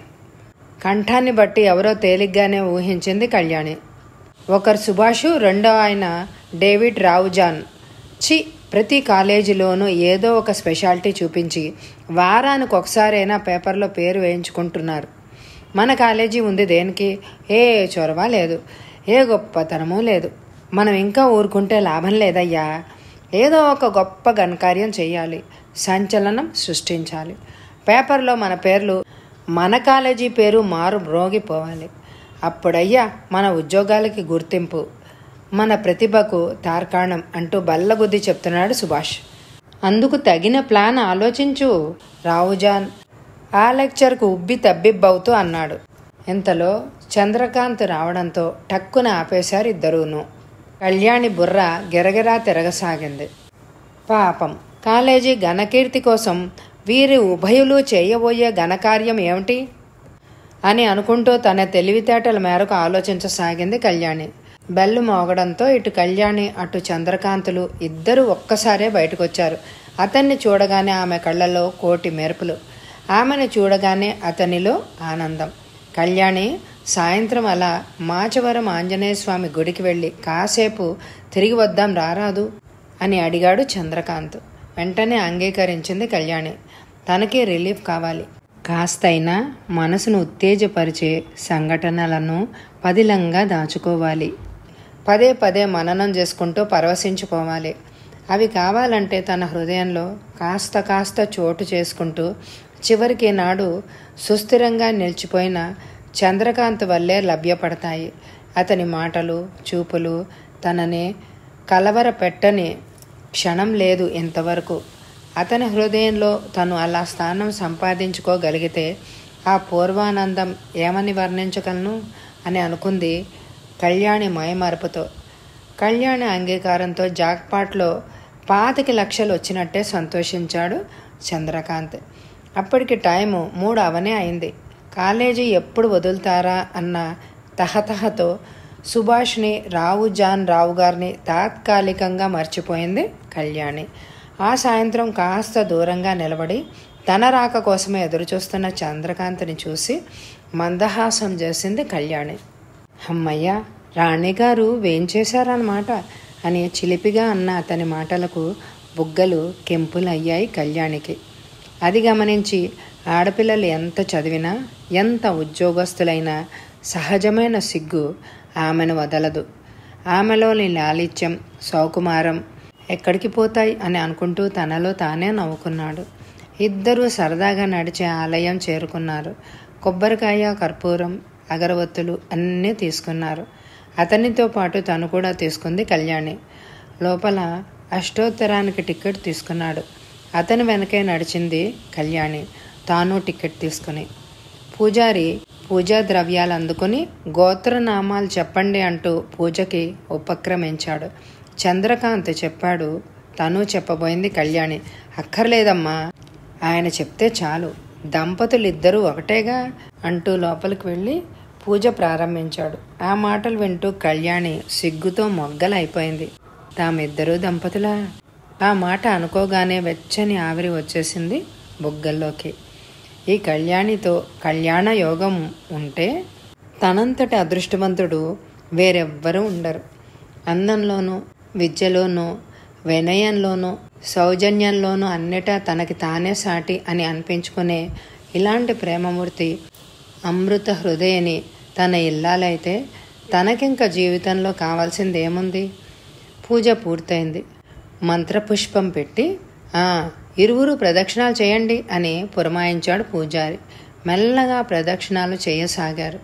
బరువైన పూల జడతో మెడలో పచ్చని పసుపు తాడుతో తలంబ్రాల పచ్చదనంతో మెరిసే తెల్లటి చీరలో తన చెయ్యి అందుకొని ప్రదక్షిణం చేస్తున్న నవ వధువులాగా కళ్యాణిని ఊహించుకుంటూ తిరుగుతున్నాడు చంద్రకాంత్. సరిగ్గా ఇలాంటి భావనే అందంగా కదిలిపోతున్నాయి కళ్యాణిలో కూడా. ప్రసాదం అందించి ఆశీర్వదించాడు పూజారి. అందుకని మెల్లగా బయటపడ్డారు. అప్పటికే చీకటి పడిపోయింది. కళ్యాణి ఒక్కత్తిమే వెళ్ళగలవా? అని అడిగాడు చంద్రకాంత్ కొబ్బరి చిప్ప అక్కడే పగలగొట్టి ముక్క చేస్తూ. "ఆ, వెళ్ళగలను అని నవ్వింది కళ్యాణి. చంద్రకాంత్ ఒక్కసారి ఆమె కళ్ళలోకి చూసి ఆల్ రైట్ పద బస్ స్టాప్కి నిన్ను బస్ ఎక్కించి పంపించేస్తాను అని లేచాడు. అతని ఇల్లు ఆ ప్రాంతాన్నే కనుక అతను నడిచే వెళ్ళిపోతాడు. తన ఇంటి మాట గుర్తుకు రాగానే శాంత గుర్తొచ్చింది. చంద్రకాంత్కి ఆ విషయం చెప్పడమా మానడమా అని సందేహించింది. ఆమె అలా సందేహ స్థితిలో ఉండగానే ఆమె బస్సు రావడం గబాన్ల ఎక్కడం జరిగిపోయింది. బస్సు కదులుతుంటే చెయ్యూపాడు చంద్రకాంత్. ఇంటికి వచ్చేసరికి శాంత ఆండాల్ సుందరం తన తండ్రి అంతా కూర్చుని కబుర్లు ఆడుకుంటున్నారు దేవకి మాత్రం పెరట్లో మంచం మాల్చుకొని పడుకునుంది. ఏ అమ్మా ఇంత ఆలస్యం అని అడిగాడు చక్రపాణి. అలా పని ఉండి వెళ్ళాను అంటూ గుణిగి వెళ్ళిపోయింది. తండ్రి కళ్ళల్లో ఏదో కొత్తదనం కనిపిస్తోంది కళ్యాణికి. వసంత్ ఏడిపిన్ని ఏమిటో మీటింగ్ ఉందట వెళ్ళాడు. ముభావంగా జవాబిచ్చింది. వసంత్ చాలా తెలివైనవాడు చదువులో చురుకైనవాడు. ఎన్ఆర్ఆర్ కాలేజీలో బిఏ సెకండ్ ఇయర్ చదువుతున్నాడు. రెండవవాడు విజయ్ అతను సీనియర్ ఇంటర్ చదువుతున్నాడు. మూడవవాడు వినోద్. ఇంటర్ ఫస్ట్ ఇయర్ ముగ్గురు ఒకే కాలేజీ. మరి వీళ్ళిద్దరూ వెళ్ళలేదా? అని అడిగింది అక్కడే కూర్చొని చదువుకుంటున్న చిన్న తమ్ముళ్ళిద్దరిని చూసి. మాకు ఆ మీటింగ్లు అంటే విసుగక్క? అని జవాబిచ్చాడు వినయ్. కళ్యాణి వచ్చి అక్కడ మరో కుర్చీలో కూర్చున్నాక మేం రేపు వెళ్తాం కళ్యాణి అంది సగం అరవం సగం తెలుగులో శాంత. మంచిది వెంటనే అంది కళ్యాణి. కళ్యాణి నీకు కన్నతల్లి మీద తీపి లేదా? ఆమె కళ్ళల్లోకి చూసి అడిగింది శాంత. ఆ మాటకి రెండు క్షణాలు ఏమీ జవాబు ఇవ్వలేదు కళ్యాణి. అది ఏదో చిన్నది. దాన్ని పట్టించుకోవాల్సిన పని లేదు శాంత అంటుంటే తండ్రికేసి విస్తుపోయి చూసింది. అది కూడా నన్ను గుర్తించి మీలా గౌరవిస్తే తప్ప నాకు ఆనందం లేదు చిన్నబుచ్చుకుంటున్నట్టు అంది శాంత. ఈసారి మరింత వెర్రిదానిలాగా చూసింది కళ్యాణి. అంటే తండ్రి ఈమె తన భార్యగా గుర్తించి ఆ అభిమానం కనబరుస్తూ గౌరవం ఆదరణ చూపిస్తున్నాడా? చటుక్కున దేవకి గుర్తొచ్చింది. అందుకే పిన్ని వెళ్ళి దొడ్లో మంచం వేసుకొని పడుకుందా ఏమిటి? హఠాత్తుగా తన ఇంట్లో ప్రాప్తించిన వింతలు మాయలు అనుకుంటూ అందరినీ పరిశీలించడంలో మునిగిపోయింది కళ్యాణి.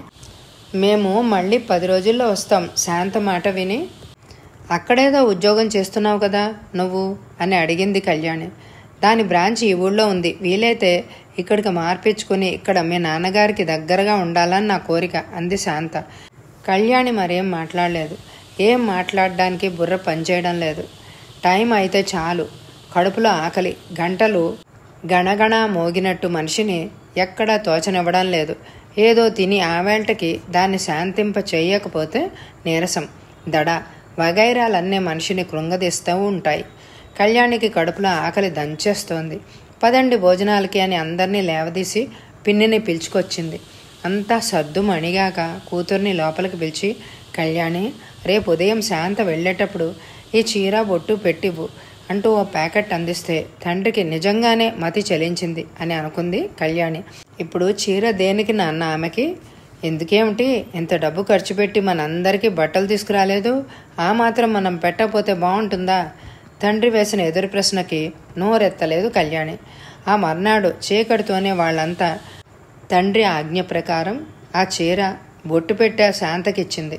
చక్రపాణి రెండు కాళ్ళకి దండం పెట్టి కళ్యాణి బుగ్గలు నొక్కి రిక్షా ఎక్కింది శాంత. బస్సుకా రైలుకా? అని కూడా అడగలేదు కళ్యాణి. దేనికో ఒక దానికి. పోతారులే. మనకెందుకు? అనుకుంది మనసులో. మిస్టర్ చంద్రకాంత్ వెంటనే బ్రేకులేసినట్టు ఆగిపోయాడు చంద్రకాంత్. అతని ఎదురుగుండా నుంచుంది శంకరి. ఆమెను చూడగానే గతుక్కుమన్నాడు చంద్రకాంత్. ఏంటో చెప్పండి అన్నాడు. ఈరోజు పిక్చర్కి వెళ్దాం రెడీగా ఉండండి. పిక్చర్కా? అన్నాడు ఆశ్చర్యంగా. అవును సార్ పిక్చర్కే అంటూ నవ్వింది వెక్కిరింతగా. రానని చెప్పే ధైర్యం లేదు చంద్రకాంత్కి. ఆమె గారు ప్రిన్సిపాల్ గారి అమ్మాయి ఆ ధీమా లెక్చరర్ నన్న గర్వం. ఆ పైన అందగతననే అహం అన్నీ ఉన్నాయి. ఆమెకి కాలేజీలో చేరిన మొదటి రోజే చంద్రకాంత్ నచ్చాడు. అతడు అవివాహితుడు అని తెలియగానే ఆ నచ్చడము ఓ మోతాదు మించింది. లెక్చరర్గా పనిచేస్తున్న అతని మంచి రూపం కూడా నచ్చింది. కాస్త ఒళ్ళు చేసి టీవీగా నిండుగా ఆకర్షణీయంగా కన్నె యువతల గుండెల్లో గుబులు పుట్టించేట్టు ఉంటాడు చంద్రకాంత్. మనిషికి ఉన్నది పుష్టి గొడ్డుకి తిన్నది పుష్టి అన్నట్టు మంచి సంపాదన గౌరవనీయమైన ఉద్యోగం మనిషికి ఆత్మవిశ్వాసాన్ని పెంచుతాయి. అదే ఓ అందం కూడా తెచ్చిపెడుతుంది. తన ఇంట్లో జరిగిన ఈ విపరీతాన్ని అతనితో చెప్పి అతని అభిప్రాయాన్ని తెలుసుకోవాలన్న తపనతో వచ్చిన కళ్యాణికి శాంకరి చంద్రకాంత్ ఇద్దరూ దగ్గరగా నుంచిన కబుర్లు చెప్పుకోవడం కనిపించేసరికి తిన్నగా గుండెల్లోకి బాకు దిగినట్లయింది. కళ్యాణి రావడం చూసినా గమనించినట్లే ఊరుకున్నాడు చంద్రకాంత్. అది గుర్తించిన కళ్యాణి చిన్న ముఖంతో అవతలికి వెళ్ళిపోయింది. ఆ సాయంత్రము సినిమాకి వెళ్ళక తప్పలేదు. చంద్రకాంత్కి ఆడపిల్లల చేత ఖర్చు ఎలా పెట్టిస్తాడు? మగధీరుడు పక్కనుండగా అంచేత అన్ని ఖర్చులు తనే పెట్టుకున్నాడు చంద్రకాంత్. ఇది చాలా సంతోషాన్ని ఇచ్చింది శాంకరికి. ఎక్కడికి పోతాడతను తను ప్రిన్సిపాల్ కూతురు. తన మాట జవదాటగల ధైర్యం ఉంటుందా? అని భావయుక్తంగా నవ్వుకుంది మనసులో. కళ్యాణి కాలేజీ వదలగానే ఇంటికి వచ్చేసింది మరో అరగంటకి ఇంటికొచ్చాడు వసంత్. నిన్న ఎక్కడికి రా మీటింగ్ కట్ట వెళ్ళావు? కాలక్షేపానికి అన్నట్టు అడిగింది కళ్యాణి. మీ కాలేజీకి అక్కయ్యా. ఆ మాటకు అదిరిపడింది. మా కాలేజీలో మీటింగ్ అని నాకే తెలియదే. నువ్వు ఎలా వెళ్ళావు? నీకెవరు చెప్పారు? అనుమానంగా అడిగింది కళ్యాణి. మా క్లాస్మేట్ బాబురావు. అన్నయ్య మీ కాలేజీలో ఫైనల్ బీకాం చదువుతున్నాడు. అతను రమ్మంటే వెళ్ళాం. అలాగా ఎవరెవరు మాట్లాడారేంటి? సుభాష్ గారు డేవిడ్ జాక్సన్ గారట. వాళ్ళిద్దరు పేర్లు వింటూనే హడిలిపోయింది కళ్యాణి. ఏం చెప్పారు? చాలా చెప్పారు. నాకు చాలా బాగా నచ్చాయి కూడాను అంటూ ఉత్సాహంగా చెప్తుంటే కళ్ళు తేలేసింది ఆమె. బాగా చెప్పారా? నాకు బాగా నచ్చాయి అంటూ నా తమ్ముణ్ణి ఈడ్చి ఆ చంప ఈ చంప పేల్ చెయ్యాలన్నంత తామసం వచ్చింది ఆమెకు. వాళ్ళు చెప్పే కబుర్లు ఎట్లాంటివో తనకే తెలుసు. ఆ కబుర్లు తను కాలేజీ స్టూడెంట్స్లో పట్టించుకున్న వారెవరూ కనిపించలేదా? అలాంటిది అమాయకుడైన తన తమ్ముడు వాళ్ళ మాటలకు ప్రభావితమై ఏం చేస్తాడు? విప్లవకారుడిగా వాళ్ళ మాటలకు మారిపోతాడా? మకాం మార్చుకొని అందరినీ వదిలించుకొని పోతాడా? అని అనుకుంటూ గజగజ వణికిపోయింది. నువ్వు ఇంకా చిన్నవాడివి. బియ్య అన్నా పూర్తి కాలేదు. వాళ్ళేదో చెప్పారని ఏవో ఆలోచన రహిత నిర్ణయాలు తీసుకోకు. ఆ రావు జాన్ గారికి మతిస్థిమితం లేదు సరిగ్గా. అలవాటైన పాఠాలు గనక బాగానే చెప్పగలడు. మిగిలిన విషయాలు అతిగా ఆలోచించి మతి చెడగొట్టుకున్నాడు. అంది కోపాన్ని అదుపులో పెట్టుకుంటూ. వసంత ఒక్కసారి కళ్యాణి కేసు చూసి సుభాష్ గారికి కూడా మతిస్థిమితం లేదా అక్క? అని అడిగాడు. ఆయన మరీ ఉగ్రవాది. ఆయన చెప్పే కబుర్లు అభిప్రాయాలు అన్నీ విప్లవాత్మకంగా ఉంటాయి. ఇంకా చదువులే పూర్తి అవని మీకు. వాటి వలన ఉపయోగం ఏమీ లేదు. అంది ఆమె నింపాదిగా. విప్లవం లేకపోతే మార్పు ఎలా వస్తుంది అక్కయ్యా ఈ అస్తవ్యస్తమైన సంఘాన్ని బాగు చేయాలంటే ఎదురు తిరగాలి అని అన్నాడు ఆవేశంగా. ఆ మాటతో విన్నది ఒక్కరోజే అయినా తమ్ముడికి బాగా తలకెక్కిపోయాయి అని వెంటనే నిర్ణయించుకుంది కళ్యాణి. వసంత్ నువ్వు ఇంకా చదువుతున్నావు. ముందు అది కానీ పరీక్షలు దగ్గరకు వస్తున్నాయి. ఇవన్నీ మర్చిపోయి వాటి సంగతి చూసుకో అంది తీక్షణంగా. వసంత్ మాట్లాడలేదు. అతనికి అక్కయ్య చెప్పే మాటలు ఏవీ నచ్చలేదు. ఈ ఆడవాళ్ళు అంతే. ఒట్టి పిరికి సంత. ఎంత చదివితేనే కాస్త గట్టిగా మాట్లాడితే చాలు. ధర్మపన్నాలు చెప్తూ ఉంటారు. అంతకంటే వాళ్ళకేం చేతనవుతాయి? అనుకున్నాడు మంటగా. ఆ మర్నాడు కూడా చంద్రకాంత్తో మాట్లాడడం పడలేదు కళ్యాణికి. తను ప్రిన్సిపాల్ గారి అమ్మాయి ఆకర్షణలో పడిపోయాడా అని అనుకుంటూ బాధపడింది ఆమె. ఇంకా తను పలకరిస్తే కానీ మాట్లాడకూడదు అని అనుకుంది చివరకు. ఆ తర్వాత రోజు అతనే కళ్యాణిని చూసి నవ్వుతూ దగ్గరగా వచ్చాడు. ఏం కళ్యాణి బొత్తిగా మాట్లాడడం మానేశావు? అని అడిగాడు. అతడంతటా అతనే పలకరించేసరికి ఆమె మొహం చాటంత అయింది అయినా పైకి నేను నా మాటలే కావాల్సి వచ్చాయా మీకు? అని అడిగింది నిష్ఠూరంగా. చంద్రకాంత్ మాట్లాడలేదు ముందు. ఆ తర్వాత మొత్తానికి సత్రాజిత్తులాగా నీకు అలక కూడానా? అన్నాడు నవ్వుతూ. ఆ మాటకు ఉడుకుమోత్తనం వచ్చేసింది కళ్యాణికి. అలిగినా అదిలించినా చెల్లే వారికి చెల్లుతుంది. నాలాంటి దానికి ఏం కుదురుతుంది అంటూ వెళ్ళిపోబోయింది విసవిస. చటుక్కున ఆమె చేయి పట్టుకుని ఆపేశాడు చంద్రకాంత్. ఏదో తమాషాకి అన్నానులే సాయంత్రం అలా గుడిదాకా వెళ్దాం అన్నాడు. అతనికి తన మీద ఎంత మమకారం ఉందో అసలు ఉందో ఏదో మాట సామెతగా పూర్వ పరిచయాన్ని పురస్కరించుకొని మాట్లాడుతున్నాడు అర్థం కాక ఎటు జవాబు ఇవ్వకుండానే క్లాస్లోకి వెళ్ళిపోయింది కళ్యాణి. ఆ సాయంత్రం ఆమె కోసమే కనిపెట్టుకుని సందు చివర నిలబడ్డంతో కళ్యాణికి కోపం పావురంలాగా ఎగిరిపోయింది. వెంటనే నవ్వుతూ అతన్ని అనుసరించింది. అమ్మయ్య రాణిగారికి కోపం శాంతించింది అనుకున్నాడు. గుడిలోకెళ్ళి పూజా పూజ వగైరాలు అయ్యాక మీతో ఒక్క విషయం మాట్లాడాలి అంది కళ్యాణి. ఒకటేం కర్మ? వంద చెప్పు నీ కబుర్లన్నీ వినడానికే కదా ఇక్కడికి లాక్కొచ్చింది అన్నాడు చంద్రకాంత్. మెల్లగా తన ఇంటికి శాంత రావడం దగ్గర నుంచి వివరాలన్నీ చెప్పి ఇది సంభవమే అంటారా? పూర్వ జ్ఞానంతో మా అమ్మ మా ఇల్లు వెతుక్కుంటూ రావడం జరగవచ్చా? అని అడిగింది కుతూహలంగా. ఆమె చెప్పిందంతా చాలా శ్రద్ధగా విన్నాడు చంద్రకాంత్. అసంభవం అబద్ధమని కొట్టిపారేయడానికి కూడా వీల్లేదు కళ్యాణి. మరణానంతరం జీవితాల గురించి అనేక మంది అనేక రకాలుగా చెప్తూ ఉండడం. నువ్వు పేపర్లో చదవడం లేదు.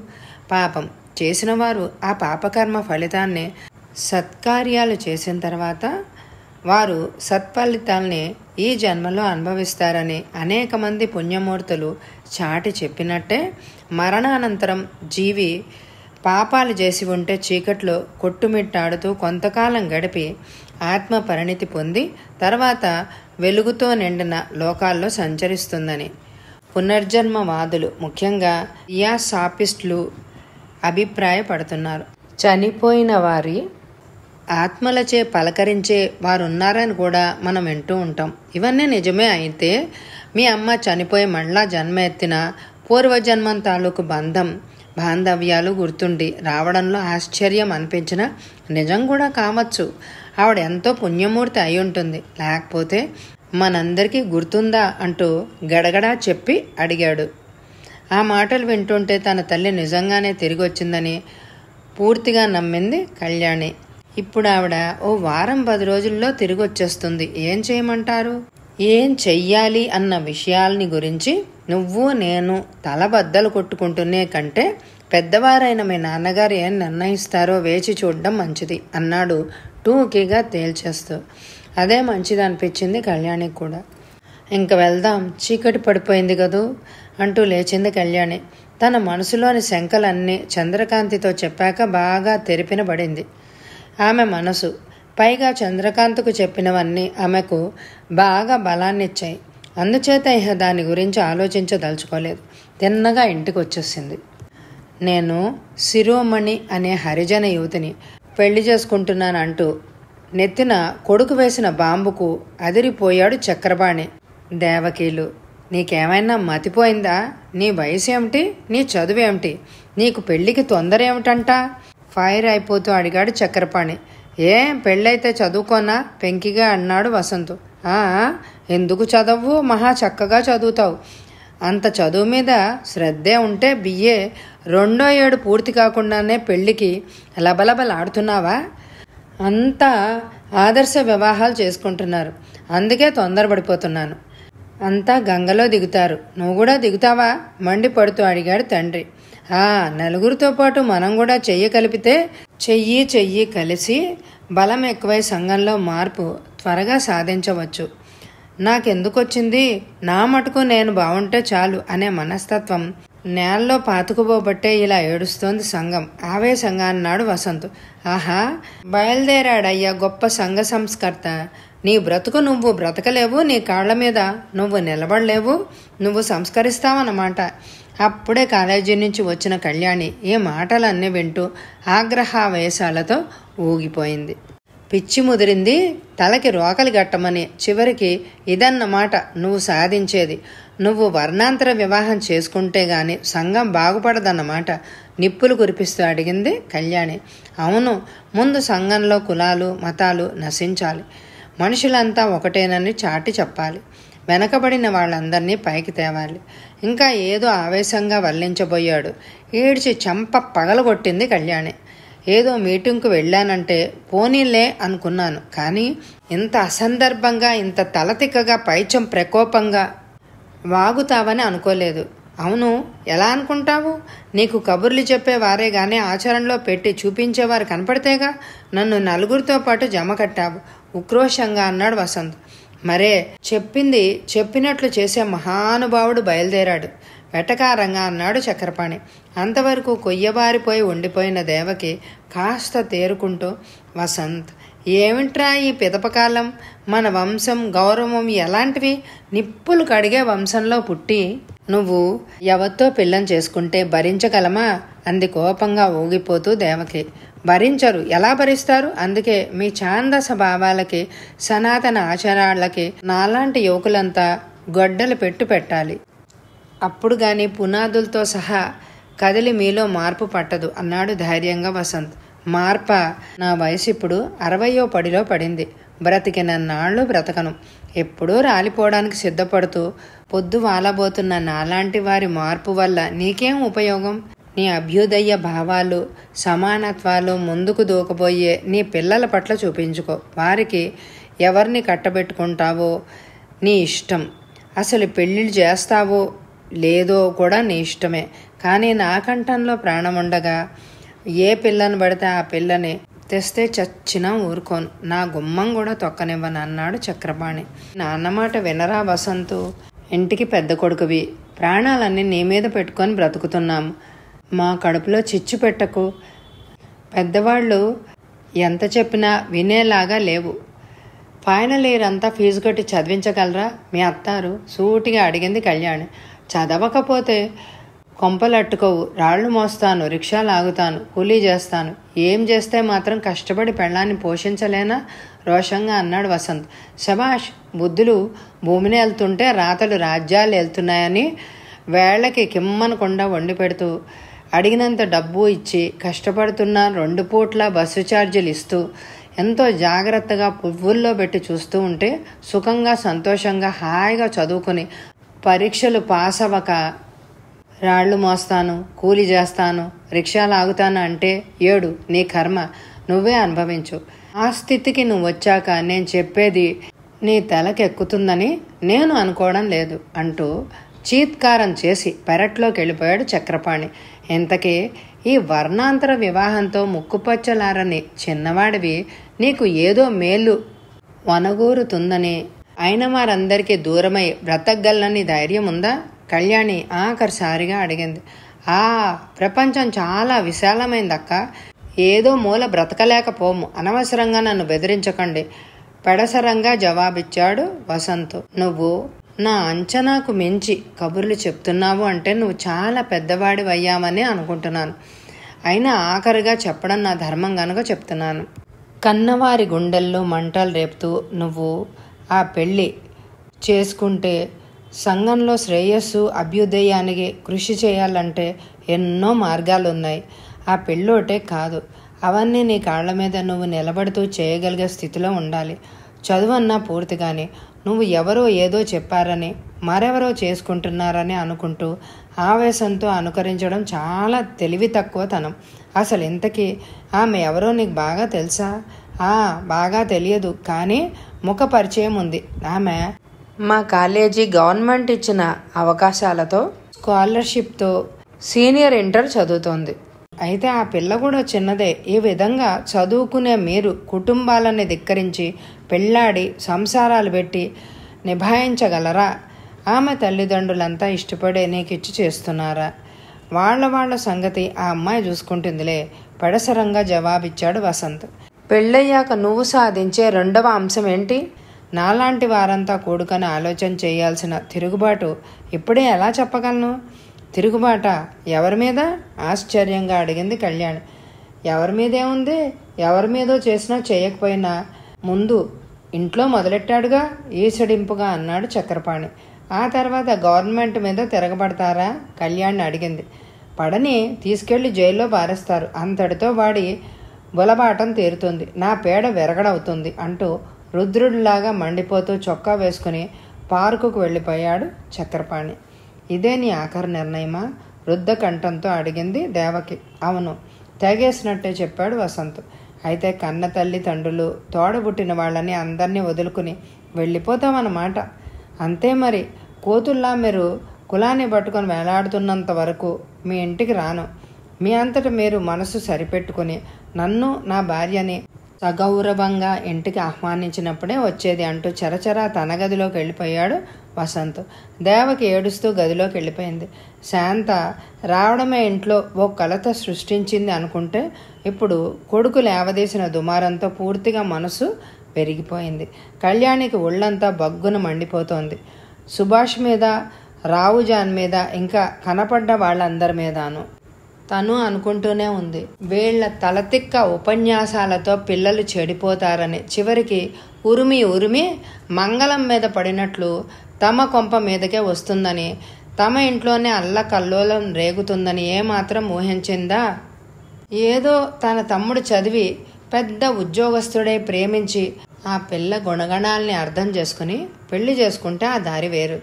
ఇలా అర్ధంతరంగా ఎవరో చెప్పారని ఏ మాత్రపు అవగాహన లేక మొహం చూసి వర్ణాంతర వివాహానికి పూనుకుని ఇంట్లో అలజడి సృష్టించడం ఎంత మాత్రం భరించలేకుండా ఉంది. ఆ రాత్రి ఇంట్లో ఎవరూ భోజనాలు చేయలేదు. కంటి నిండా నిద్రపోలేదు. ఎవరి మటుకు వారి అశాంతిగా గడిపారు. మా ఇంట్లో ఈ వివాహాన్ని తీవ్రంగా ప్రతిఘటించారు సార్ అంటూ చెప్పిన వసంత్ని చూసి సుభాష్ పెద్దగా నవ్వాడు. అంత నవ్వు దేనికో అర్థం కాక తెల్లమొహం వేశాడు వసంత్.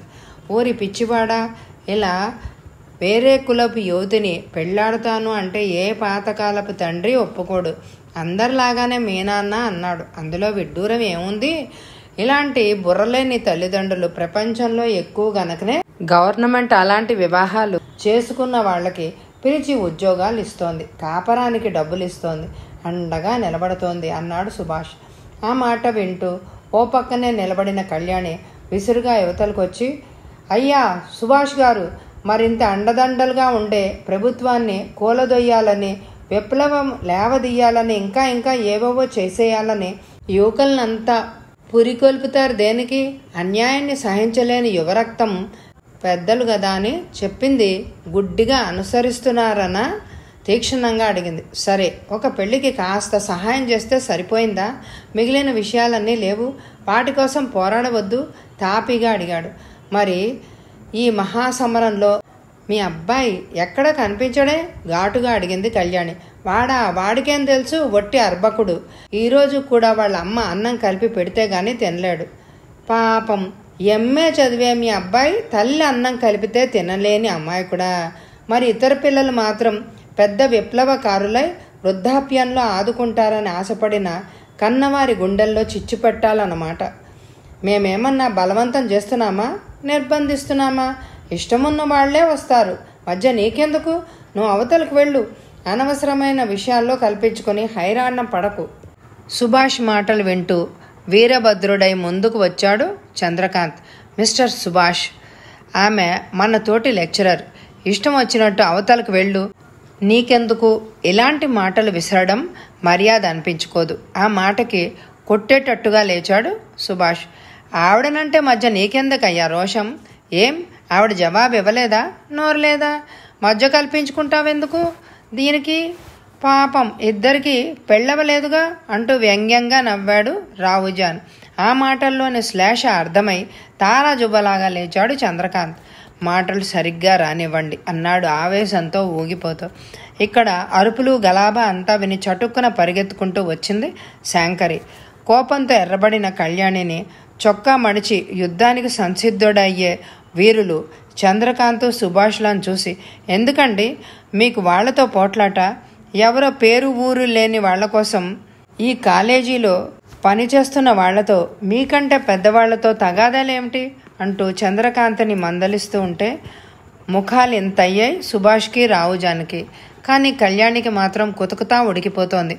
తన ఎదురుగా భర్తని అవమానం చేస్తున్నట్టే ఊగిపోయింది. నిజం మాట్లాడినందుక ఆయన్ని తూలనాడుతున్నారు విసురుగా అడిగింది కళ్యాణి. నిజా నిజాలు మాకే తెలుసు. నువ్వు చెప్పక్కర్లేదు. నిరసనగా అంది శంకరి. తెలిస్తే ఇలా మాట్లాడరు. కళ్యాణి ఊరుకో అసహ్యంగా అన్నాడు చంద్రకాంత్. అది గుర్తించి తల వంచుకొని అవతలికి వెళ్ళిపోయింది కళ్యాణి. పదిగురిలో తన మాట మన్నించినందుకు మనసులోనే సంతోషించాడు చంద్రకాంత్. ఈ గొడవలో వసంతు ఎప్పుడో జారుకున్నాడు. ఆ మధ్యాహ్నం కాలేజీ సెలవు పెట్టి ఇంటికి వెళ్ళిపోయింది కళ్యాణి. ఆ పూట వసంత్ ఇంటికి రాలేదు. దేవకి ఓ పక్కన చాప పరుచుకొని ఏడుస్తూ పడుకుంది. చక్రపాణి దుమదుమలాడుతూ ఉన్నాడు. వాతావరణం అంతా తుఫాన్ రావడానికి సూచనలాగానే ఉంది. ఆ మర్నాడు ఉదయం పేపర్లో నిన్న సామూహిక వర్ణాంతర వివాహాలు జరిగాయి. దీనికి అధ్యక్షత వహించింది Venkata Krishna college economics lecturer Shri Subhash physics lecturer Shri David రావుజాన్ గార్లు అంటూ కింద వధువర్ల పేర్లు విపులంగా ప్రచురించింది. చదివి పిడుగుపడ్డట్టయ్యారు చక్రపాణి కళ్యాణిలు. అందులో వసంతు శిరోమణి పేర్లు చూసి అయిపోయింది. చివరికి వీడు అన్నంత పని చేశాడు. అన్యాయంతో కుటుంబానికి దూరమయ్యాడు. పోని ఈ ఏడాది రెండేళ్ళాగన్నా చేసుకున్నాడు కాదు. తిండికి ఏం బాధపడతాడు అని బెంగపడింది కళ్యాణి. దేవకి చదివి కళ్ళు తిరిగి పడిపోయింది. ఎంత పని చేశావురా? నా కడుపున చిచ్చు పెట్టావు కదరా అంటూ ఏడుస్తూ ఉంటే ఓదార్చడం కూడా రాక చేష్టలుడిగి చూసింది కళ్యాణి. మద్రాస్ చేరిన దగ్గర నుంచి విజయవాడకి ట్రాన్స్ఫర్ కోసం శతవిధాల ప్రయత్నం చేయసాగింది శాంత. ఎందుకమ్మా అని అడిగాడు అయ్యరు గారు ఆశ్చర్యంగా. అక్కడ నా భర్త ఉన్నారు ఆయన దగ్గర కాక విడిగా ఉంటానా అని ఎదురు ప్రశ్న వేసింది శాంత. ఆ మాట వింటూ తెల్లమొహం వేశాడు అయ్యర్. భర్త ఏంటమ్మా నీకింకా పెళ్ళి కాలేదుగా? విసుగ్గా అడిగాడు. అదేంటి అలా అంటావు? కిందటి జన్మలో భర్త ఈ జన్మలో కాడా? ఏడేడు జన్మల బంధమని అంటూ ఏదో చెప్పబోయింది శాంత. అవన్నీ అవతల పెట్టు. నీ వయసు ఇరవై రెండు. నువ్వంటున్న భర్తకి అరవయో పొడిలో పడ్డాడు. అతన్ని భర్త అంటూ అక్కడ ఉంటానంటావేమిటి? అని అడిగాడు తమాయించుకుంటూ. వయసు ఎంతైనా సరే భర్త అన్నాక భర్తే. అయితే ఏమిటంటావు? విసుగ్గా అన్నాడు. రామనాథ్ అయ్యారు ఏముంది? నేను ఇక్కడ ఉండను నా ఇంటికి నేను పోతాను. ఖచ్చితంగా అని యువతలకు వెళ్ళిపోయింది శాంత. నా కర్మగాని. ఈ పిల్లకి పూర్వజన్మ జ్ఞానం ఉండడం నా దురదృష్టం. లక్షణంగా ఇక్కడ ఏడు వందలు తెచ్చి నా చేతిలో పోస్తోంది కాస్త.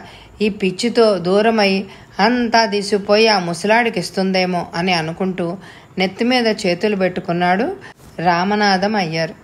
అసలు బుద్ధి తక్కువై ఆనాడు వెళతాను చూస్తానని కూతురు అన్నప్పుడు నాలుగు గదమాయించి కూర్చోబెట్టకుండా భార్యని కొడుకుని తోడిచ్చి పంపడం అంతా తెలివి తక్కువని మరొకటి లేదని లెంపలు వాయించుకున్నాడు గట్టిగా.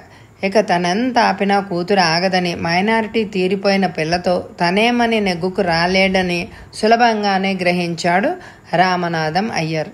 ఇంకా ఎవరి కర్మ ఎలా ఉంటే అలా జరుగుతుందని నిర్లిప్తంగా ఊరుకున్నాడు. చివరికి అంతకంటే చేసేదేమీ లేదు కనుక. పరీక్షలు దగ్గరకు వస్తున్నాయి ముగ్గురు నలుగురు పిల్లలు కళ్యాణి దగ్గర ట్యూషన్స్ చెప్పించుకుంటున్నారు. వసంత్ ఏమయ్యాడో అజాపజా లేదు. పౌరుషం కొద్దీ ఎక్కడున్నాడో ఏం తింటున్నాడో అంటూ విలవిలలాడిపోతోంది కళ్యాణి. దేవకి బాధ చూస్తుంటే కళ్యాణికి అసలు ఇంట్లో అన్నం కూడా తినబుద్ధి కావడం లేదు. తిండి తిప్పలు మాని కంట్లో నీరు ఇంకిపోయి ఏడవడానికి కూడా ఓపిక లేనట్టు ఉండిపోయింది. చక్రపాణి మనసులో ఏముందో గాని నిమ్మకు నీరెత్తినట్టు ఉంటున్నాడు కళ్యాణి అలా ఉన్నావే అని అడిగాడు చంద్రకాంత్ ఆ రోజు. అతడు లాలనగా అడిగేసరికి కళ్ళంబడ నీళ్ళు తిరిగాయి ఆమెకి. వసంతు హరిజన పిల్లని పెళ్ళి చేసుకుని వెళ్ళిపోవడం తిరిగి ఇంటి ముఖం అన్నా చూడకపోవడం అంతా చెప్పేసింది. చదువు పూర్తి కాకుండానే పెళ్ళి దేనికి? ఏం పెట్టి పోషిస్తాడు ఆ పిల్లని? తనేం తింటాడు? అని అడిగాడు చిరాగ్గా. అదే కదా నా బాధ అంతా రెక్కలు వచ్చాక ఎగిరిపోతే సహజమని సరిపెట్టుకుంటాం. కానీ ఏ బలం లేకుండా మరో ప్రాణిని భరించడం ఎంత కష్టమో వాడు గ్రహించలేదు. అంది రుద్ద కంఠంతో నువ్వేం భయపడకు. కాలేజీలో ఎంక్వైరీ చేద్దాం. ఏదైనా సహాయం కావాలంటే మరి మనమే చేద్దాం అంటూ ఓదార్చాడు. అతడి మాటలకి కాస్త ధైర్యం పుంజుకుంది ఆమెకు. అదేదో మీరే చూడండి అంటూ భారమైన హృదయంతో ఇంటికి వచ్చేసింది కాలేజీ అయిపోగానే తిన్నగా ఎంఆర్ఆర్ కాలేజీ దగ్గరకు వచ్చాడు Chandrakanth. Second year BA student ఒక అతన్ని పట్టుకుని వసంత్ మాట అడిగాడు. అతని ఈ రోజు కాలేజీకి రాలేదు సార్ అన్నాడు ఒక అతను అతను ఎక్కడుంటాడో తెలుసా? పెళ్ళయ్యాక పెళ్ళి కూతురు ఇంట్లోనే ఉంటున్నాడు అనుకుంటా ఆ పెళ్ళి కూతురు ఇంటి కోసం ఆడపిల్లల్ని ఆరాధిస్తారు. చివరికి ఫలానా చోటను గ్రహించి అక్కడికి వెళ్ళాడు చంద్రకాంత్. ఆ ప్రాంతం అంతా పూరిపాకలే. కాల ఒడ్డునున్న ఆ ప్రాంతం అంతా మల మూత్రాలతో గబ్బు కంపు కొడుతోంది.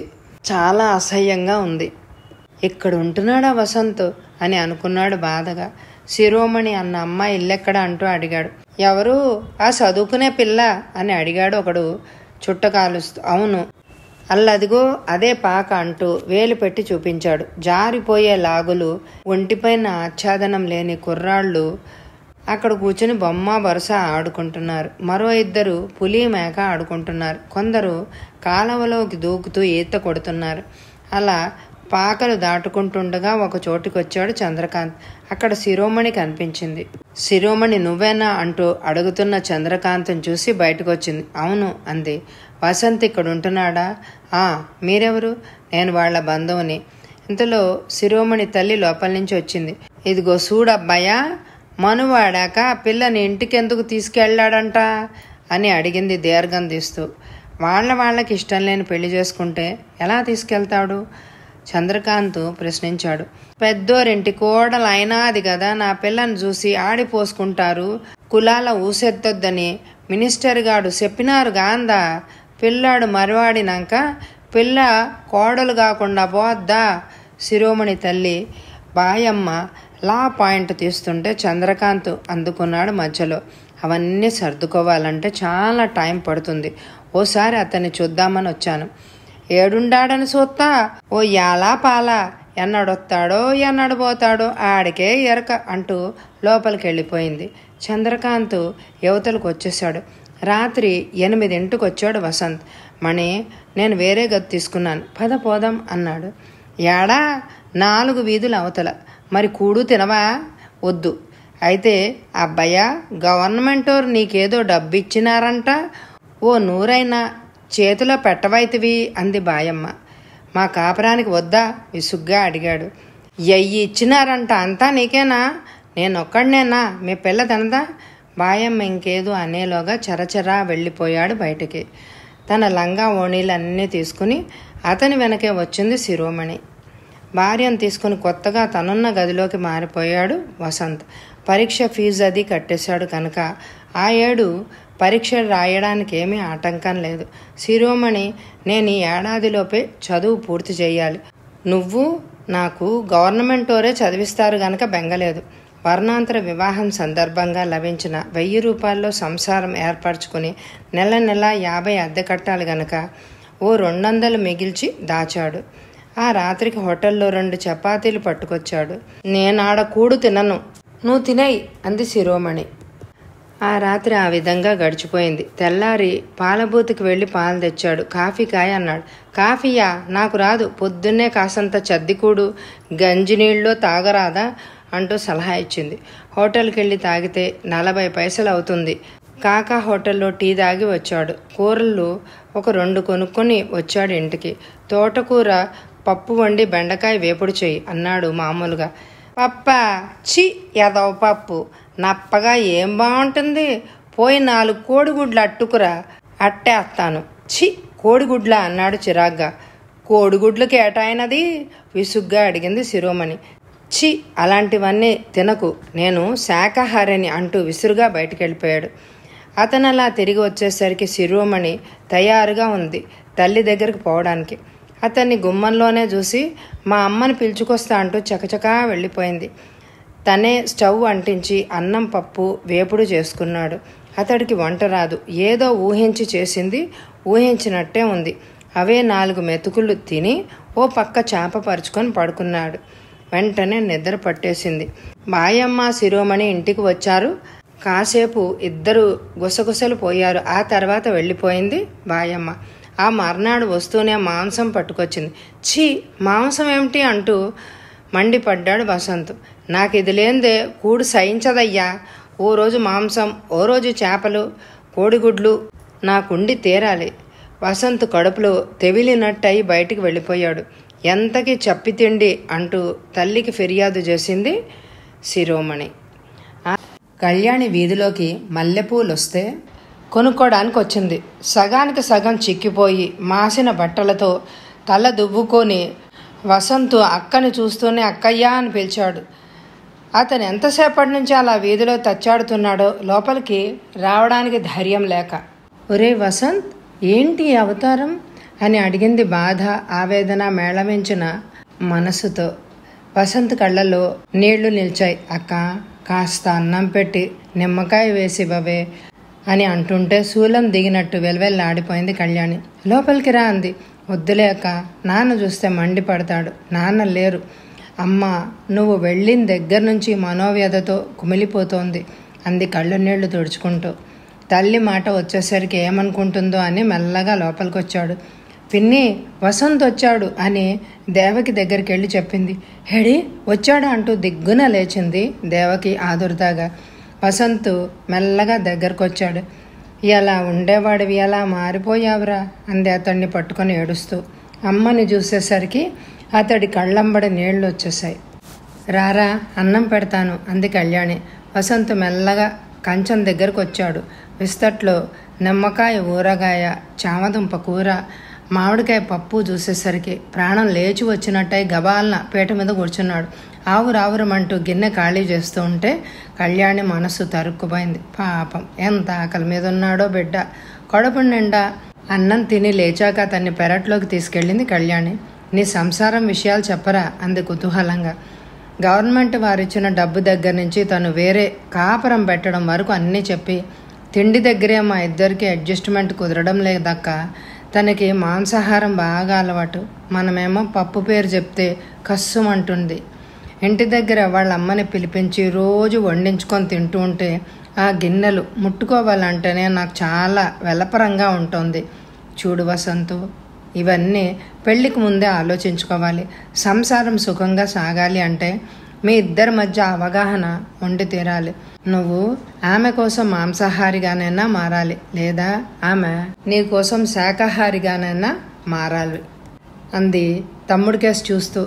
నాకు ఆ వాసనలో గిట్టవక్క వెల్లుల్లి వాసనే నాకు యావగింపుగా ఉంటుంది. మరి ఏదో విధంగా సర్దుకోకపోతే ఎలా? ఇంతకీ మీ ఇంటికి మరోసారి వస్తాను. అడ్రస్ ఇవ్వు. వసంత్ కళ్ళు మెరిశాయి. అయితే తప్పకుండా వస్తావా అక్క? అని అడిగాడు రాసిస్తూ "ఆ, ఏదో పూట వస్తాను. ఇంతకీ నువ్వేం చూస్తున్నావు? ఏం చెయ్యాలన్నా ఉద్యోగం ఎవ్వరూ ఇవ్వడం లేదు. కిన్న వదనంతో అన్నాడు. అందుకే రా వసంతు నీ కాళ్ళ మీద నువ్వు నిలబడేదాకా ఏ పని స్వతంత్రించి చెయ్యరాదు అంది కళ్యాణి బాధగా. వసంతు మాట్లాడలేకపోయాడు. సరే నువ్వు వెళ్ళు రేపో మాపో వస్తాను. ఈలోగా అన్ని విషయాలు చంద్రకాంత్ గారితో చెప్తాను. ఆయన ఏమన్నా ఉద్యోగం ఇప్పించగలరేమో అడుగుతాను. చంద్రకాంత్ అంటే ఎవరు? ఆ రోజు? అవును మీ పాకలను వెతుక్కుంటూ మీకోసం వచ్చారు ఒకసారి. విన్నాను. ఆయన చాలా మంచివారు. ఏదైనా సహాయం చేస్తే ఆయనే చేయాలి అక్కగారి కళ్ళలోని తళుకులను గమనించి అక్క అతన్ని ప్రేమిస్తోందని తేలిగ్గానే గ్రహించాడు వసంత్. ఇద్దరి జంట బాగానే ఉంటుందని మనసులోనే అనుకున్నాడు. తప్పకుండా రాక అంటూ లేచాడు వసంత్. ఆగు అంటూ చిన్న స్టీల్ గిన్నెలో నిమ్మకాయ పెట్టి ఇది నాలుగు రోజులు వేసుకో అంటూ అందించింది. అక్కగారి కళ్ళలోకి కృతజ్ఞతగా చూశాడు వసంత్. అమ్మా వెళ్ళొస్తాను అని అన్నాడు. మంచిది నాయన అప్పుడప్పుడు వస్తూ ఉండు అంది పొడిగా దేవకి. వసంత్ తల ఊపి వెళ్ళిపోయాడు. అతను వెళ్ళిన పావు గంటకు వచ్చాడు చక్రపాణి. ఇంకా నయం వాడింట్లో అన్నం తింటుండగా రాలేదు కొంపలంటుకు పోయేది అని అనుకుంది దేవకి. కళ్యాణి తమ్ముడిని గురించి తమ్ముడి సంసారాన్ని గురించి ఆలోచిస్తూ ఉండగా గుమ్మంలో రిక్షా ఆగడం అందులోంచి శాంత దిగడం గమనించి ఒక్క ఉదుటున బయటకు వచ్చింది కళ్యాణి. బాగున్నావా అంటూ లోపలికి వచ్చింది శాంత. ఓ శాంత రా రా అంటూ వికసిత వదనంతో ఆహ్వానించాడు చక్రపాణి. నాకు ఈ ఊరు ట్రాన్స్ఫర్ చేశారు. రేపు చేరాలి అంటూ నవ్వుతూ లోపలికి వచ్చింది శాంత. చాలా సంతోషం అంటూ నవ్వి కళ్యాణి కాస్త కాఫీ కాయ్ అంటూ కూతురుతో చెప్పాడు. దేవకిని చూసి అదేంటక్క అలా ఉన్నావు? అని అడిగింది శాంత. దేవకి రాని నవ్వు తెచ్చుకుంటూ బాగానే ఉన్నానే అని మాత్రం అంది. కళ్యాణి కాఫీ కల్పించింది. నేను వారం పది రోజుల్లో వస్తాను అని శాంత అని వెళ్ళాక వారం అయిన దగ్గర నుంచి చాలా జాగ్రత్తగానే ఉంటుంది. దేవకి కూరలు పాలు అన్నీ రెడీగా అట్టి పెట్టుకుంటోంది. వెంటనే కూర చేసి సాంబార్ కాచింది. ఆమె వంట చేస్తుండగా వసంత్ చేసిన ఘనకార్యం గురించి శాంతతో చెప్పాడు చక్రపాణి. అంతా విని తెల్లబోయింది శాంత. కాసేపటికి తేరుకొని ఈ కాలంలో ఇలాంటి పెళ్ళిళ్ళని ప్రభుత్వమే ప్రోత్సహిస్తోంది కనుక తప్పులేదనుకోండి అయినవాడు చిన్నవాడు. పెద్దది కళ్యాణికి పెళ్ళి కాకుండా తను పూర్తిగా చదువుకోకుండా తొందరపడ్డం ఏమీ బాగాలేదు అని అంది. అందుకే వాణ్ణి గుమ్మం తొక్కనివ్వడం లేదు అన్నాడు చక్రపాణి. ఇవన్నీ దేవకికి వినబడుతూనే ఉన్నాయి. కళ్ళు తుడుచుకుంటూనే వంట పూర్తి చేసింది. ఈసారి కళ్యాణి మంచి ఉత్సాహంగా శాంతతో కబుర్లు చెప్పడం కూడా దేవకి దృష్టి నుంచి తప్పించుకోలేదు. వంట అయింది. భోజనాలకి రండి అంటూ గది దాకా వచ్చి చెప్పి మళ్ళీ లోపలికి వెళ్ళిపోయింది. అయిందేదో అయిపోయింది. వసంతను గురించి మనసులో ఏం పెట్టుకోకక్కయ్యా? ఇలాంటివన్నీ తేలిగ్గా తీసుకోవాలి అంది శాంత ఓదార్పుగా దేవకిని చూసి. దేవకి ఏమీ మాట్లాడలేదు. ఇప్పుడు ఆమెకి ఎలాగో ఒక విధమైన నిర్లిప్తత ఏర్పడనే ఏర్పడింది. తమ్ముడిని చూద్దాం అనుకుంటే ఆ రోజు బయలుదేరింది కళ్యాణి. అప్పటికి శాంత వచ్చి నాలుగు రోజులైంది. ఆఫీస్కి వెళ్ళి సాయంత్రం ఆరు గంటలకు వస్తుంది. ఆమె రోజు వెళదాం అనుకుంటున్నదల్లా ఏదో ఒక అవాంతరం వచ్చి వెళ్ళలేకపోతోంది కళ్యాణి. ఏమైనా సరే ఈరోజు తప్పకుండా వెళ్ళాలి అని అనుకుంటూ ఎవ్వరికి చెప్పకుండా తమ్ముడిచ్చిన అడ్రస్ తీసుకొని బయలుదేరింది. ఆ సందులో ఆ ఇల్లు వీధి వైపు గదే కనుక త్వరగానే కనిపించింది. పైగా వసంత్ వీధిలో నిలబడే ఉన్నాడు. కళ్యాణిని చూడగానే అతనికి పట్టరాని సంతోషం కలిగింది. రాక్క అంటూ ఆహ్వానించాడు. ఎవరా అన్నట్టు లోపల నుంచి బయటికి వచ్చింది శిరోమణి. మణి మా అక్కయ్య అంటూ పరిచయం చేశాడు. శిరోమణి వింతగా చూడసాగింది కళ్యాణికేసి కళ్యాణి కూడా ఆమెను అలాగే శల్య పరీక్ష చేస్తోంది. పొడుగు పొడుక్కు తగ్గ లావు కొంచెం రంగు తక్కువే అయినా కళగానే కనిపించింది. కాలేజీలో చదువుకుంటున్న పిల్ల. ఎలాగైనా కాస్త శుభ్రంగానే ఉంటుంది. అలాగే ఉన్నది కూడా. నువ్వు పరీక్షలు బాగా రాశావా? కళ్యాణి అడిగింది. రాశానన్నట్టు తల ఊపింది శిరోమణి. నీకు అన్నం వండడం వచ్చా? బాగా రాదు. మరి ఎలా తింటున్నారు? ఆశ్చర్యంగా అడిగింది. ఏముందక్క? అన్నం నేనే వండుతున్నాను. మరి కూరలవి? మా అమ్మ నా కోసం కూరండి పెడతాది. మీ తమ్ముడికే నీచో నీచో అంటూ గెట్టడంలా. చూడు శిరోమణి నువ్వు చదువుకున్న పిల్లవి. నేను చెప్పేది శ్రద్ధగా వింటావా? అని అడిగింది కళ్యాణి.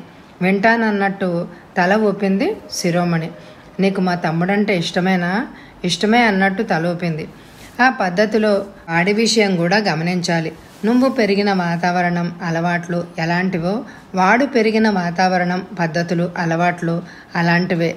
వాడు నీ కోసం నీ తిండి తిప్పలు ఎలా మార్చుకోలేవో వాడు కూడా అంతే కదా. అంచేత మీరిద్దరూ ఒక అవగాహనకి రావాలి అంటే ఒకరికొకరు బాగా అర్థం చేసుకోవాలి. వాడు శాకాహారి పైగా చాలా సున్నిత మనస్కుడు. మాంసాహారం అంతా జీవహింస అనే అభిప్రాయము. వాడి ఏడో ఏటనే నా దగ్గర వెలుగుచ్చాడు అంచేత వాడికి బాధగా ఉంటుంది. వంట నేర్చుకున్నాక వాడికి వండి పెట్టు నువ్వు కూడా కాస్త తింటూ ఉండి మీ కూరల మీద మనసు పుట్టినప్పుడు నువ్వు అలా మీ వాళ్ళ ఇంట్లో వండించుకొని తినిరా. క్రమక్రమంగా వాడికి ఆ వాసన సోకిన సహించగలిగితే చాలు. తినమని బలవంతం చేయకు తగాదాలు పెట్టుకోకు శాంతంగా ఉండాలి. వర్ణాంతర వివాహాల్లో ముఖ్యంగా ఆహారంలో తేడాలు ఉన్నప్పుడు చాలా సహనం నిగ్రహం అవసరం అంటూ నచ్చజెప్పింది. శిరోమణి వింటూ ఉండిపోయింది. అక్క ఏ కూర ఎలా చేయాలో కూడా కాస్త కాగితం మీద రాసిపెట్టు. ఏదో తంటాలు పడతాం అన్నాడు. అలాగే అంటూ అన్ని రకాల కూరలు రాసిచ్చింది. పచ్చళ్ళు కూడా రాసిచ్చింది. థ్యాంక్స్ అక్క అన్నాడు ఆ కాగితాన్ని దైవ విగ్రహంలాగా కళ్ళకద్దుకుంటూ. పర్వాలేదురా తను చిన్నదే కదా అంటూ కాసేపు అవి ఇవి మాట్లాడి ఆ పూట అక్కడ వాళ్ళకి వంట చేసి పెట్టి తమ్ముడు హోటల్ నుంచి తెచ్చిన కాఫీ తాగి ఇంటికి వచ్చేసింది కళ్యాణి.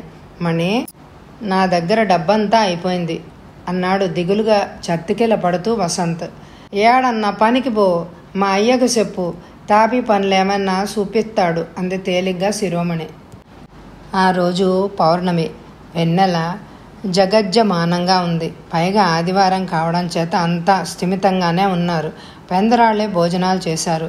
కొడుకు ఇంట్లోంచి వెళ్ళిపోయాక చక్రపాణి మనసులో ఏం బాధపడినా పైకి మాత్రం వెలుగుచ్చలేదు కనీసం అతని పేరు కూడా అనుకోకపోవడం చూసి తండ్రి ఎంత ధైర్యస్తుడు అని అనుకుంది కళ్యాణి ఆశ్చర్యంగా.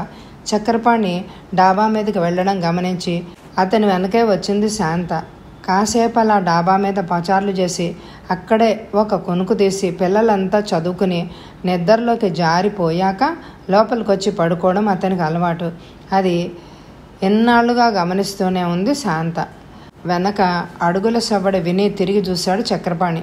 ఏం శాంత ఇలా వచ్చావు? అని అడిగాడు ఆప్యాయంగా. శాంత అతని పక్కనే చాప మీద కూర్చుంది. నా గురించి మీ అభిప్రాయం ఏమిటి? అని అడిగింది. ఏ విషయంలో? అంటూ ఎదురు ప్రశ్న వేశాడు చక్రపాణి. నన్ను మీ పార్వతిగా గుర్తించారా? ఇంకా అనుమానిస్తున్నారా? అనుమానం దేనికి శాంత? ఆనాడు నువ్వు అన్ని విషయాలు చెప్పి ఏనాడో దాచిన బొట్టు పెట్ట తీసి చూపించినప్పుడే నేను నమ్మాను. మనిషి చనిపోయాక పూర్వజన్మ జ్ఞాపకం కలిగిందని అక్కడ ఇక్కడ విన్నాను. ఈనాడు చూస్తున్నాను అని అన్నాడు. మరి అందుకే కదా నేను ఇక్కడికి వచ్చింది మీరు ఇక్కడ ఉన్నారని భావం ప్రేమ అన్నీ నిలువున పులకించి వేస్తుంటే మిమ్మల్ని తప్ప మరొకరిని పరిణయం ఆడడం ఇష్టం లేక నేను ఇక్కడికి ఎంతో పట్టుదల మీద వచ్చాను. మీకు వయసు మీరిపోతున్న మీ మీద గల ఆరాధనా భావం రవ్వంతైనా తొలగలేదు. అంటుంటే విస్మయంగా చూశాడు చక్రపాణి. ఏం అలా చూస్తున్నారు? అని అడిగింది శాంత. ఏం లేదు వచ్చిన రోజు అరవై యాసలో మాట్లాడిన నువ్వు ఇంత చక్కని తెలుగు మాట్లాడుతున్నావు అంటే అని అడిగాడు. ఓ అదా నా భర్త తెలుగు వ్యక్తి. నేను ఆయనతో సమంగా మాట్లాడాలి అంటే ఎంతో కృషి చేస్తూ సాధించాననే అనుకుంటున్నాను. మా ఇరుగు పొరుగున ఉన్నవన్నీ తెలుగు కుటుంబాలే. పట్టుబట్టి మొదటి నుంచి వాళ్ళతో తెలుగు మాట్లాడడం అలవాటు చేసుకున్నాను. అయితే అప్పుడప్పుడు ఆ తమిళ వాసన సోకేది. ఇప్పుడు ఇక ఉద్యోగరీత్యా వచ్చాక ఇంకా ఆ యాస కూడా పోయింది అంటూ నవ్వింది శాంత. నేనే భర్తనంటూ ఆ పాత మమకారం ఏదో మనసులో పెట్టుకుని వయసులో ఉన్న నువ్వు ఆ వయసుకు తగినట్లు యువకుడిని పెళ్ళాడి సుఖంగా కాపురం చేసుకోక అలా ఉండిపోవడం ఒంటరిగా గడపడం నాకు ఇష్టం లేదు అన్నాడు చక్రపాణి. నేను ఒంటరిగా గడుపుతానని మీతో నేను అనలేదు కదా? మీరుండగా నేను వేరే పెళ్ళి ఎలా చేసుకుంటాను? అంటూ ఎదురు ప్రశ్న వేసింది శాంత. పిచ్చి శాంత నీకు లోకం తెలుసు. ఈ అమ్మాయి కిందటి జన్మలో నా భార్య విధివశాత్తు మళ్ళీ పుట్టి నన్ను గుర్తుపెట్టుకొని వచ్చింది. అందుకే ఆమెను మనసులో మన్నించి నేను పెళ్ళి చేసుకుంటానంటే నమ్ముతారా? పగలబడి నవ్వుతారు కానీ అన్నాడు చక్రపాణి. ఒకరు నవ్వుతారని అనుకుంటూ నా మనసు గాయపరుస్తారా? నేను ఉద్యోగం చేస్తూ ఏడు వందలు తెస్తున్నాను. మీరు ఇంకో రెండు మూడేళ్ళలో రిటైర్ అయిపోతారు. కళ్యాణ్కి పెళ్ళై అత్తారింటికి వెళ్ళిపోతుంది. నీ కొడుకు చూడబోతే ఎవతినో చేసుకుని ఇంటి ముఖం కూడా చూడకుండా వెళ్ళిపోయాడు. అలాంటప్పుడు మిమ్మల్ని అందరినీ ఎవరు ఆదుకుంటారని? ఆ మగపిల్లలు ఇంకా చిన్నవాళ్ళేనయ్యా అంది శాంత. నువ్వు చెప్పినవన్నీ బాగానే ఉన్నా. అవతల దేవకి అక్కయ్యను ఒప్పించడం పెద్ద కష్టం కాదు. టపీమని అన్నది శాంత. కాకపోయినా నేను నేను సుఖపెట్టగలనా? వయసు మేరడం లేదు నాకు. మరేం పర్వాలేదు. ఒక బిడ్డ నా కడుపున పడకపోదు. అసలు పిల్లలు పుట్టే గీత ఆడదానికి ఉంటే డెబ్బై ఏళ్ళు వచ్చిన భర్త అయినా బిడ్డ తండ్రి కాగలడు అంటూ నవ్వింది శాంత. ఆ మాటకి చక్రపాణి నవ్వి నీకు ధైర్యం ఉందన్నమాటే అన్నాడు.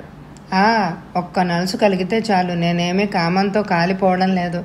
మనసారా ప్రేమించి పూజిస్తూ ఆ విధంగానే మీ జీవితాన్ని కనిపెట్టుకొని ఉండగలను. ఇది క్షణాల మీద చేసుకోవాల్సిన నిర్ణయాలు కాదు హెచ్చరించాడు ఆయన. చాలా రోజులుగా ఆలోచిస్తూనే చేస్తున్న నిర్ణయం ప్రకారం చెబుతున్న మాట ఇది. నిబ్బరంగా జవాబిచ్చింది శాంత. ఒకసారి శాంత ముఖం కేసి చూసి ఆలోచనలో పడిపోయాడు చక్రపాణి. ఇంకా ఏంటి సందేహిస్తున్నారు అని అడిగింది శాంత. ఏమీ లేదు. నీ అభిప్రాయాలు నువ్వు చెప్పావు. నేను కూడా ఆలోచించి ఇంకా ఏదో అనబోయాడు? చక్రపాణి. ఇంకా ఆలోచించడానికి ఏముంది? నేను మీ భార్యని. నీ భార్యని నువ్వు పెళ్ళి చేసుకోవడానికి సందేహించాల్సిన పని లేదు. మరి మీ అమ్మ నాన్న వాళ్ళు ఇష్టపడతారా మరి? వాళ్ళకి ఇష్టమైనా కాకపోయినా మన పెళ్ళి జరుగుతుంది అంది తిరుగులేనట్టు. సరే కానీ ఇది ఇలా ఎందుకు లిఖించాడో ఆ దేవుడికే తెలియాలి అంటూ లేచాడు చక్రపాణి. శాంత కిందకి దిగి వచ్చేసింది. ఆ వెనకే చక్రపాణి కూడా వచ్చాడు. వచ్చి మంచం మీద పడుకున్న దగ్గర నుంచి అతని కళ్ళ ముందు ఏనాడో పోయిన పార్వతి ఆమెతో గడిపిన సన్నివేశాలు అన్నీ గుర్తుకు తెచ్చుకుంటూ అటు ఇటు సందిగ్ధంలో కొట్టుమిట్టాడి చివరకు శాంతను పెళ్ళి చేసుకోవాలనే నిశ్చయించుకున్నాడు. తెల్లారి లేచి ఆఫీస్కి సెలవు పెట్టాడు. శాంత ఆఫీస్కి వెళ్ళిపోయింది. కళ్యాణికి సెలవులు అవి అయిపోవచ్చాయి. పరీక్ష పేపర్లు దిద్దుకొని అలసటగా మంచం మీద కొరిగింది. కళ్యాణి అది గమనించిన చక్రపాణి దేవకి ఇలారా అంటూ ఆశ్చర్యంగా వచ్చింది దేవకి. నేను శాంతని వివాహం చేసుకుంటున్నాను అన్నాడు. ఆ మాటకి తెల్లబోయింది జానకి. మీ వయసులు ఇంటి పరిస్థితులు మీ శరీర పరిస్థితులు అన్నీ గుర్తుంచుకునే మాట్లాడుతున్నారా? అని అడిగింది. "ఆ, అన్నీ ఆలోచించాను. కళ్యాణికి పెళ్ళి చెయ్యాలి ఈ ఏడన్నా. నేను ఇంకో రెండేళ్ళలో ఉద్యోగ విరమణ చెయ్యాలి. మగపిల్లలకి ఇంకా చదువు అవ్వలేదు. కుటుంబ భారం తను నిర్వహిస్తాను పెళ్ళి చేసుకుందాం అని అంటోంది శాంత. పైగా తను మరెవరిని పెళ్ళాడనని తను నా భార్యగానే ఉండాలని కోరుకుంటోంది. మరి నువ్వు సహృదయంతో ఆలోచించు. నేను మీ అందరికంటే తెలివైన దాన్ని కాను. అన్నీ తెలిసిన మీరు మీకు ఎలా న్యాయం అనిపిస్తే అలా చేయండి. అందరి జీవితాలు ఎలాగో పడమరికి చేరుకుంటున్నాయి అంటూ వంటగదిలోకి వెళ్ళిపోయింది దేవకి. చక్రపాణి మరేం అనలేదు. కళ్యాణి లేచాక ఆమెకు చెప్పాడు పిన్ని నువ్వేదో కోపంతో అంటున్నావా? నిజంగానే ఒప్పుకున్నావా? అని అడిగింది కళ్యాణి. కోపం దేనికి కళ్యాణి? ఎవ్వరము బ్రతికినన్నాళ్ళు బ్రతకము. ఆయన మనసు ఈ వయసులో కష్టపెట్టడం కంటే సుఖంగా ఉండేలాగా చూడడమే మన కర్తవ్యం. అనవసర కార్పణ్యాలు పనికిరాని అసూయలు దేనికి? అంది నిశ్చలంగా. చక్రపాణి ఇలాంటి వార్త ఏదో ఒక రోజు బయట పెట్టకపోడని అందరికీ అనుమానంగానే ఉంది గనక ఎవరికి పెద్ద విడ్డూరంగా తోచలేదు.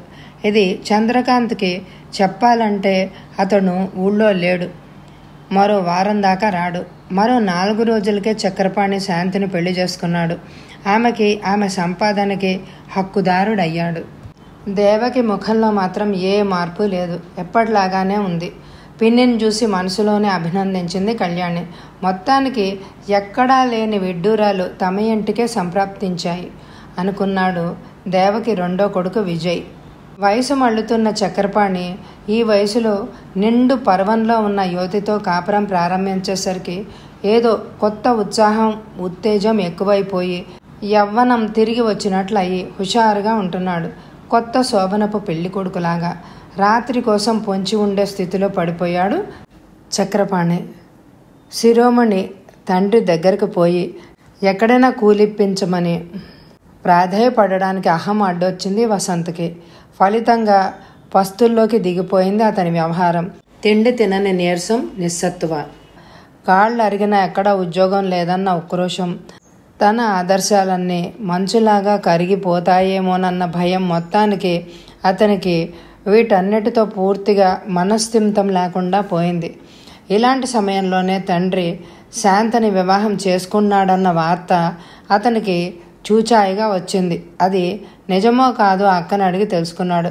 ఒకసారి తండ్రి లేని సమయంలో ఇంటి దగ్గరకు వచ్చి అయితే లోపలికి వెళ్ళలేదు.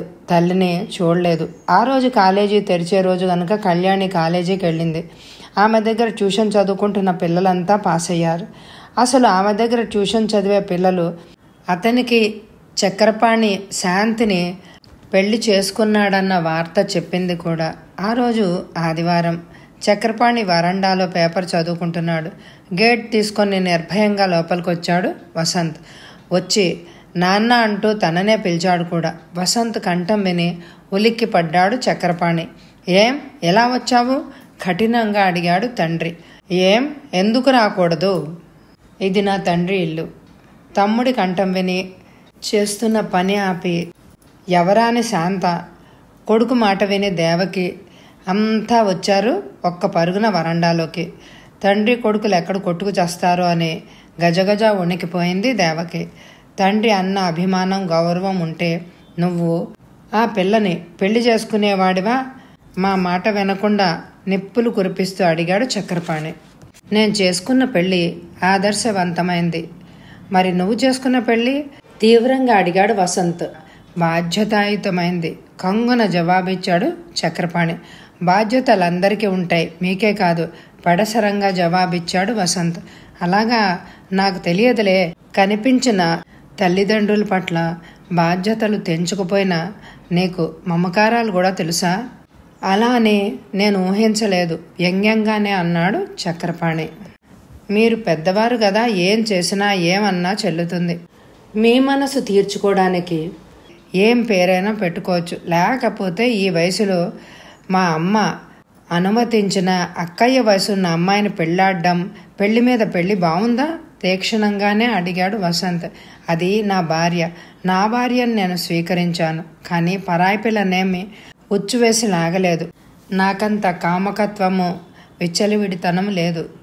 అది నీకు అర్థం కాకపోతే ఊరుకో. పనికి మాలిన నా విమర్శలు చేయకు. మీకు మీరు చేసిన పని సమర్థనీయం కావచ్చు కానీ నేను చేసిన పని మాత్రం సమర్థనీయంగా ఉండకపోవచ్చు. దాందేముంది? అయితే ఇప్పుడు ఈ మాట అడగడానికి వచ్చావా? లేదు ఇక్కడ ఉండడానికి వచ్చాను. నువ్వు గడప దాటిన నాడే ఆ హక్కు కోల్పోయావు. నాకు ఇంకా ఉన్నది ఇద్దరే కొడుకులు అని అనుకున్నాను. మీరు అనుకున్న నేను నాకు జన్మనిచ్చిన తండ్రిగానే గౌరవిస్తున్నాను. మీరు నేను లేనని అనుకున్నారేమో కానీ నాకు తల్లిదండ్రులు తోడబుట్టిన వాళ్ళు అంతా ఉన్నారనే చెప్పుకుంటున్నాను. అయితే ఏమిటంటావు? విసుగ్గా అడిగాడు చక్రపాణి. నాకెక్కడ ఉద్యోగం దొరకలేదు. ఏ పని దొరకలేదు. ఎక్కడైనా ఉద్యోగం వేయించు. అందాక ఇక్కడ ఉంటాను పెంకిగా అన్నాడు వసంత్.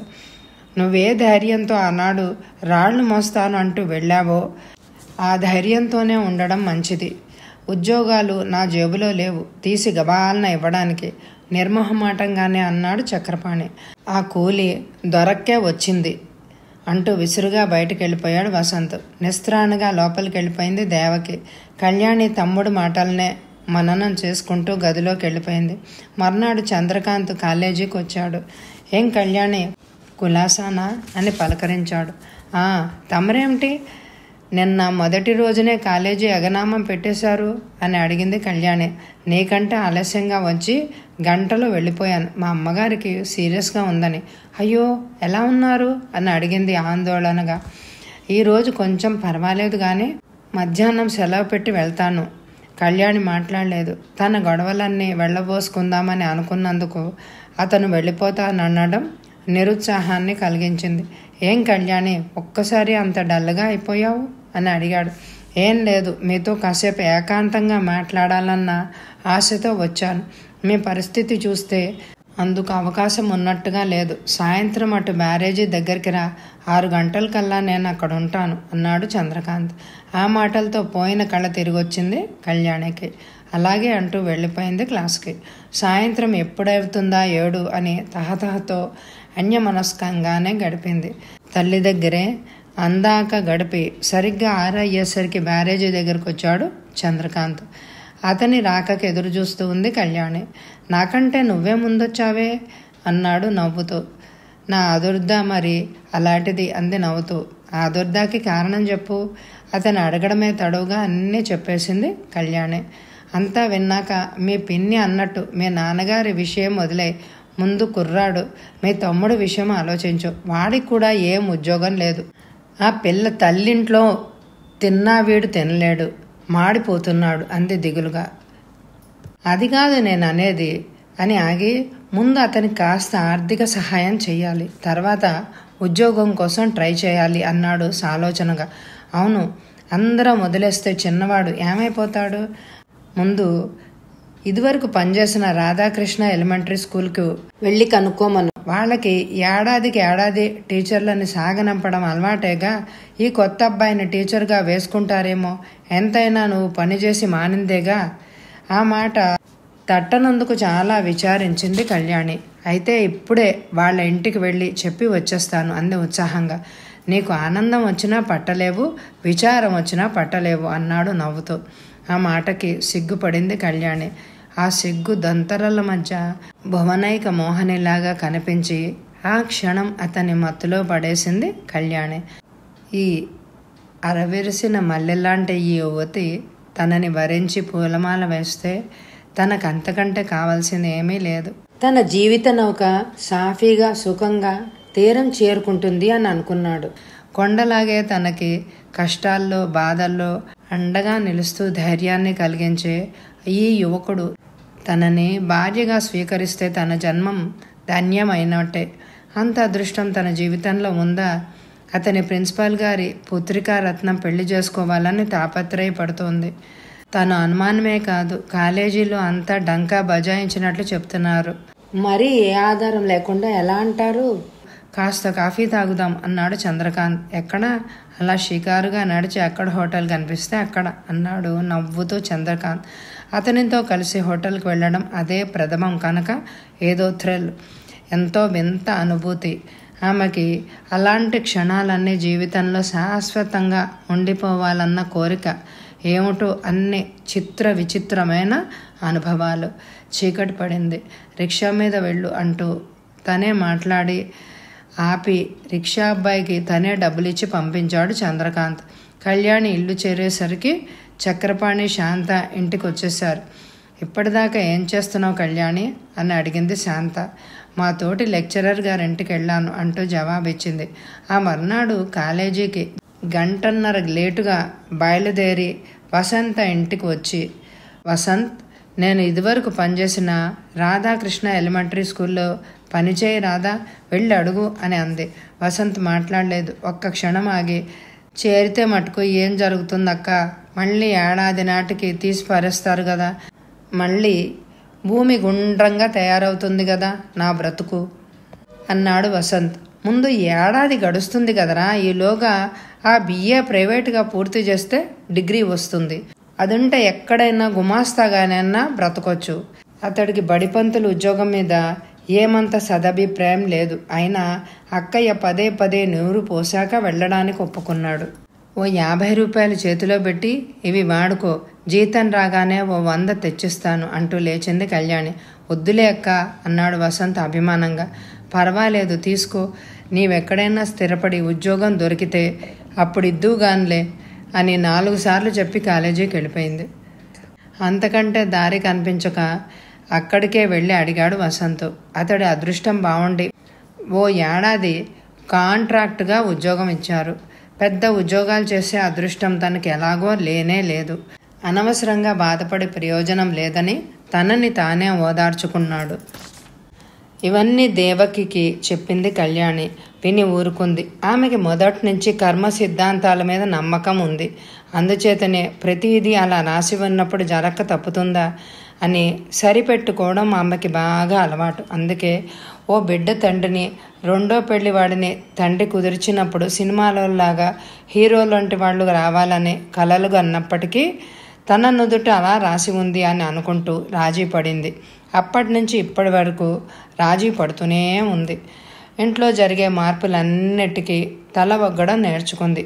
శాంత ఆదివారాలు పూర్తిగా తనే వంట చేస్తుంది. రోజు అయినా ఏదో పూట వండుతూనే ఉంటుంది. పసిపిల్లలుంటే పనులు ఎక్కువ కానీ అంతా పెద్దవాళ్ళు చేసే ఆడవాళ్ళు ముగ్గురు అయినప్పుడు ఇంటి పని ఏముంటుంది? ఎప్పుడు చిరునవ్వు ముఖంతో తెల్లగా నెమ్మదిగా ఉంటుంది శాంత. పొరపాటును కూడా ఒక్కరిని ఒక మాట అనడం అలవాటు లేదు ఆమెకు. తెచ్చిన జీతం చక్రపాణి చేతిలో పోస్తుంది. పెళ్ళయ్యాక ఆమె పనిచేసే ఆఫీస్కు వెళ్ళి కూడా వెంట పెట్టుకొని తీసుకొస్తాడు చక్రపాణి శాంతని. అతన్ని చూడగానే ఆమె మొహం కలువ పువ్వులాగా వికసిస్తుంది. వయసు తేడాలు భాషా భేదాలు ఏమీ లేవు. ఏ పట్టింపులు లేక ఏ కలతలు రాక అన్యోన్యంగానే ఉంటున్నారు ఆ దంపతులు. కొందరు చక్రపాణిని విమర్శించబోయారు. ఏవీ లెక్క పెట్టలేదు చక్రపాణి. ఎవరైనా ఎన్నాళ్ళు చెప్పుకుంటారు? కొన్నాళ్ళలో అతని కథ పాతబడిపోయింది. ఆ తర్వాత చెప్పుకునేవారే లేరు. శాంత కలుపుగోలుతనంతో ఇంట్లో తిరుగుతూ ఉంటే దేవకికి కూడా స్నేహభావంగానే మసులుకోసాగింది. ముఖ్యంగా శాంత సంపాదనే అందరి నోరు మోయించేసింది అని అనవచ్చు. మిస్టర్ చంద్రకాంత్ సాయంత్రం మా ఇంటికి రండి అంటూ ఆహ్వానించింది శంకరి. ఏంటి విశేషం? అని అడిగాడు చంద్రకాంత్. ముందు మీరు రండి అక్కడే తెలుస్తుంది కానీ ఆ కంఠంలో ధ్వనించే అధికారానికి మళ్ళీ మాట్లాడలేదు చంద్రకాంత్. ఆ సాయంత్రం అతనికి వెళ్ళక తప్పలేదు. రాబోయ్ రా అంటూ ఆప్యాయంగా ఆహ్వానించాడు ప్రిన్సిపల్. అమ్మాయి శాంకరి కాఫీలు చూడు అంటూ కేక పెట్టాడు. కాఫీలు తీసుకొని తనే వచ్చింది శాంకరి. ఏమోయ్ నీకు ఇంకా పెళ్ళి మీద మనసు పోవడం లేదా? అన్నాడు ప్రిన్సిపాల్ నవ్వుతూ. చంద్రకాంత్ ఇబ్బందిగా నవ్వాడు. మా అమ్మాయి శంకరి నువ్వు ప్రేమించుకున్నారని విన్నాను. ఇలా ప్రేమల వలన ఉపయోగం ఏముంటుంది? పెళ్ళి చేసుకొని కాపురం పెట్టాలి కానీ అన్నాడు ముందర కాళ్ళకు బంధం వేస్తూ. ఆ మాట వినేసరికి చంద్రకాంత్ మొహంలో నవ్వు ఠక్కున మాయమైపోయింది. మీ అమ్మాయిని ప్రేమించానని నేను చెప్పలేదే అన్నాడు తాపిగా. మిస్టర్ చంద్రకాంత్ అమ్మాయి దగ్గర ఒక మాట నా దగ్గర ఇంకో మాట మాట్లాడుకు అన్నాడు కోపంగా. చూడండి శంకర్ గారు మిమ్మల్ని ప్రేమించానని నేను చెప్పానా? సూటిగా అడిగాడు చంద్రకాంత్. శంకరి తీక్షణంగా చూసింది. నాతో సినిమాలకి నాటకాలకి తిరుగుతూ నాతో కబుర్లాడుతూ కాఫీలు సేవిస్తూ కలిసిమెలిసి తిరుగుతున్నప్పుడు ఇష్టం లేకుండా ఇవన్నీ చేశారా? మీరు ప్రిన్సిపల్ గారు అమ్మాయి కదా అని గౌరవ అభిమానాలు చూపించడం సాటి లెక్చరర్ కదా అని మీ కోరిక అంగీకరించడం మాట మన్నించడం ప్రేమ కిందకు వస్తాయని అనుకుంటే కన్నెత్తి కూడా చూసేవాడిని కాదు అంటూ లేచాడు చంద్రకాంత్. మా అమ్మాయికి ఏం లోటు లేదు. దాని గురించి నీకు వేరే చెప్పాల్సిన అవసరమే లేదు. ఆలోచించి రేపు చెప్పు అంటూ తను లేచాడు శంకరి తండ్రి ప్రిన్సిపాలు అయిన కృష్ణమూర్తి. పిలిచి పిల్లనిస్తానంటే ఎవడికైనా లోకువే అనుకున్నాడు మంటగా. చంద్రకాంత్ ఇంటికొచ్చిన చాలాసేపటి వరకు కోపాన్ని కంట్రోల్ చేసుకోలేకపోయాడు. ప్రతివాడు ఏదో విధంగా ఎదుటివాడిని ఉపయోగించుకోవాలి అనుకునేవాళ్ళే. ఈ ప్రిన్సిపాల్ గారిని తలుచుకున్న కొద్దీ ఒళ్ళు మండిపోతోంది. ఆ రాత్రి అంతా కాల నాగినలాగా బుసలు కొడుతూనే ఉంది శాంకరి. ఎలా మాట్లాడాడు? ఎంత ఇన్సల్ట్? తండ్రి దగ్గర తాము ప్రేమించుకున్నామని చెప్పి పెళ్ళి మాటలు అడగమని ఇంటికి పిలిస్తే తండ్రి ముందు ఎంత క్షేమైంది అని అనుకుంది. కుతకుతలాడిపోయింది ఆమె. ఆ కుతకుతల మధ్య అతనెందుకు తన్ని ప్రేమించలేకపోయాడు? వేరే ఎవరినైనా ప్రేమించాడా? అన్న ప్రశ్నలు పుట్టుకొచ్చింది. వెంటనే దానికి సమాధానంగా కళ్యాణి రూపం కదలాడింది. వెంటనే మంచం మీద నుంచి టపీమని లేచి కూర్చుంది. అదే ఆ దౌర్భాగ్యురాలే తన ప్రేమకు అడ్డొచ్చింది. దానికోసం కబుర్లాడడం దాన్ని చీటికి మాటికి వెనకేసుకు రావడం తనకి ఎప్పటి నుంచో అనుమానంగానే ఉంది. ఏదో ఎర్రగా బుర్రగా అందంగా ఉంటుంది కదూ? దాని వలలో పడిపోయాడు. దాని కులుకు వెళుకులుకు లొంగిపోయాడు. తన కాలేజీలో పనిచేస్తూ తనకే ఎసరు పెడుతుందా? తన తండ్రి ఉద్యోగం ఇచ్చినందుకు మంచి గుణపాఠం నేర్పింది. చూస్తాను. ఓ నెల రోజుల్లోగా దాన్ని కాలేజీ నుంచి సాగనంపించందే. తన పేరు శంకరి కాదు అని అనుకుంటూ బలవంతంగా పిడికిళ్ళు బిగించి మంచం మీద గుద్దింది. తెల్లవారి అంతా మామూలుగా కాలేజీకి వచ్చారు. అక్కడి శంకర్ గోల తప్పించుకోవాలని కళ్యాణిని కలుసుకుని మాట్లాడడమే మంచిది అనుకుంటూ వచ్చాడు కాలేజీకి చంద్రకాంత్. ఆ పూట ఇద్దరికి క్లాసుల మూలాన కలుసుకోవడం కుదరలేదు. క్లాస్లో పాఠం చెప్తుండగానే ప్రిన్సిపల్ గారు పిలుస్తున్నారు అంటూ ప్యూన్ వచ్చి చెప్పాడు కళ్యాణికి. కళ్యాణి ఆశ్చర్యంగానే వచ్చింది ఆయన దగ్గరికి. చూడమ్మాయి నీ ప్రవర్తన ఏమీ బాగాలేదు. రిపోర్ట్లు వస్తున్నాయి. ఇలా అయితే నువ్వు ఉద్యోగం వదులుకోవాల్సి వస్తుంది. మా కాలేజీకి చెడ్డ పేరు రావడం నేను భరించలేను. నీకంత ఇదిగా ఉంటే వేరే ఎక్కడైనా మంచి కుర్రాన్ని చూసి పెళ్ళి చేసుకోవచ్చు కదా? ఆ మాటలు వినేసరికి తట్టుకోలేనట్టే అనిపించింది కళ్యాణికి. ఇంతలో దూకుడుగా వచ్చింది శంకరి.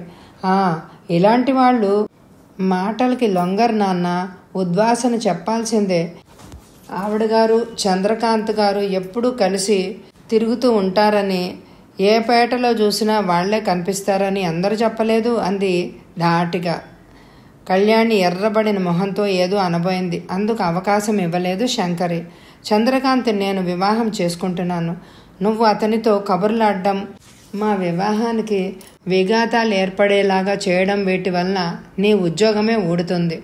టేక్ కేర్ అంటూ మహిషాసుర మర్దనిలాగా విరుచుకు పడిపోయింది శంకరి. కళ్యాణి అవమాన భారంతో కుంగిపోతూ క్లాస్కి వెళ్ళిపోయింది. ఇక పైన పాఠం కూడా చెప్పలేక ఆ పూట ఇంటికి వెళ్ళిపోయింది. ఇంటికి వెళ్ళి కాఫీ తాగి మంచం మీద వాళ్తూ నన్నెవ్వరూ లేపొద్దు తలనొప్పిగా ఉంది అంటూ అటు తిరిగి పడుకుంది. పడుకున్న ఆమెకి నిద్ర పట్టలేదు. అసలు నిద్ర కోసం కాదు ఆమె పడుకుంది. ఎవ్వరు వచ్చి తనని డిస్టర్బ్ చేయకుండా తనివి తీరా ఏడవడానికి కడుపులో రగిలే కణాల్లో భస్మం కావడానికి.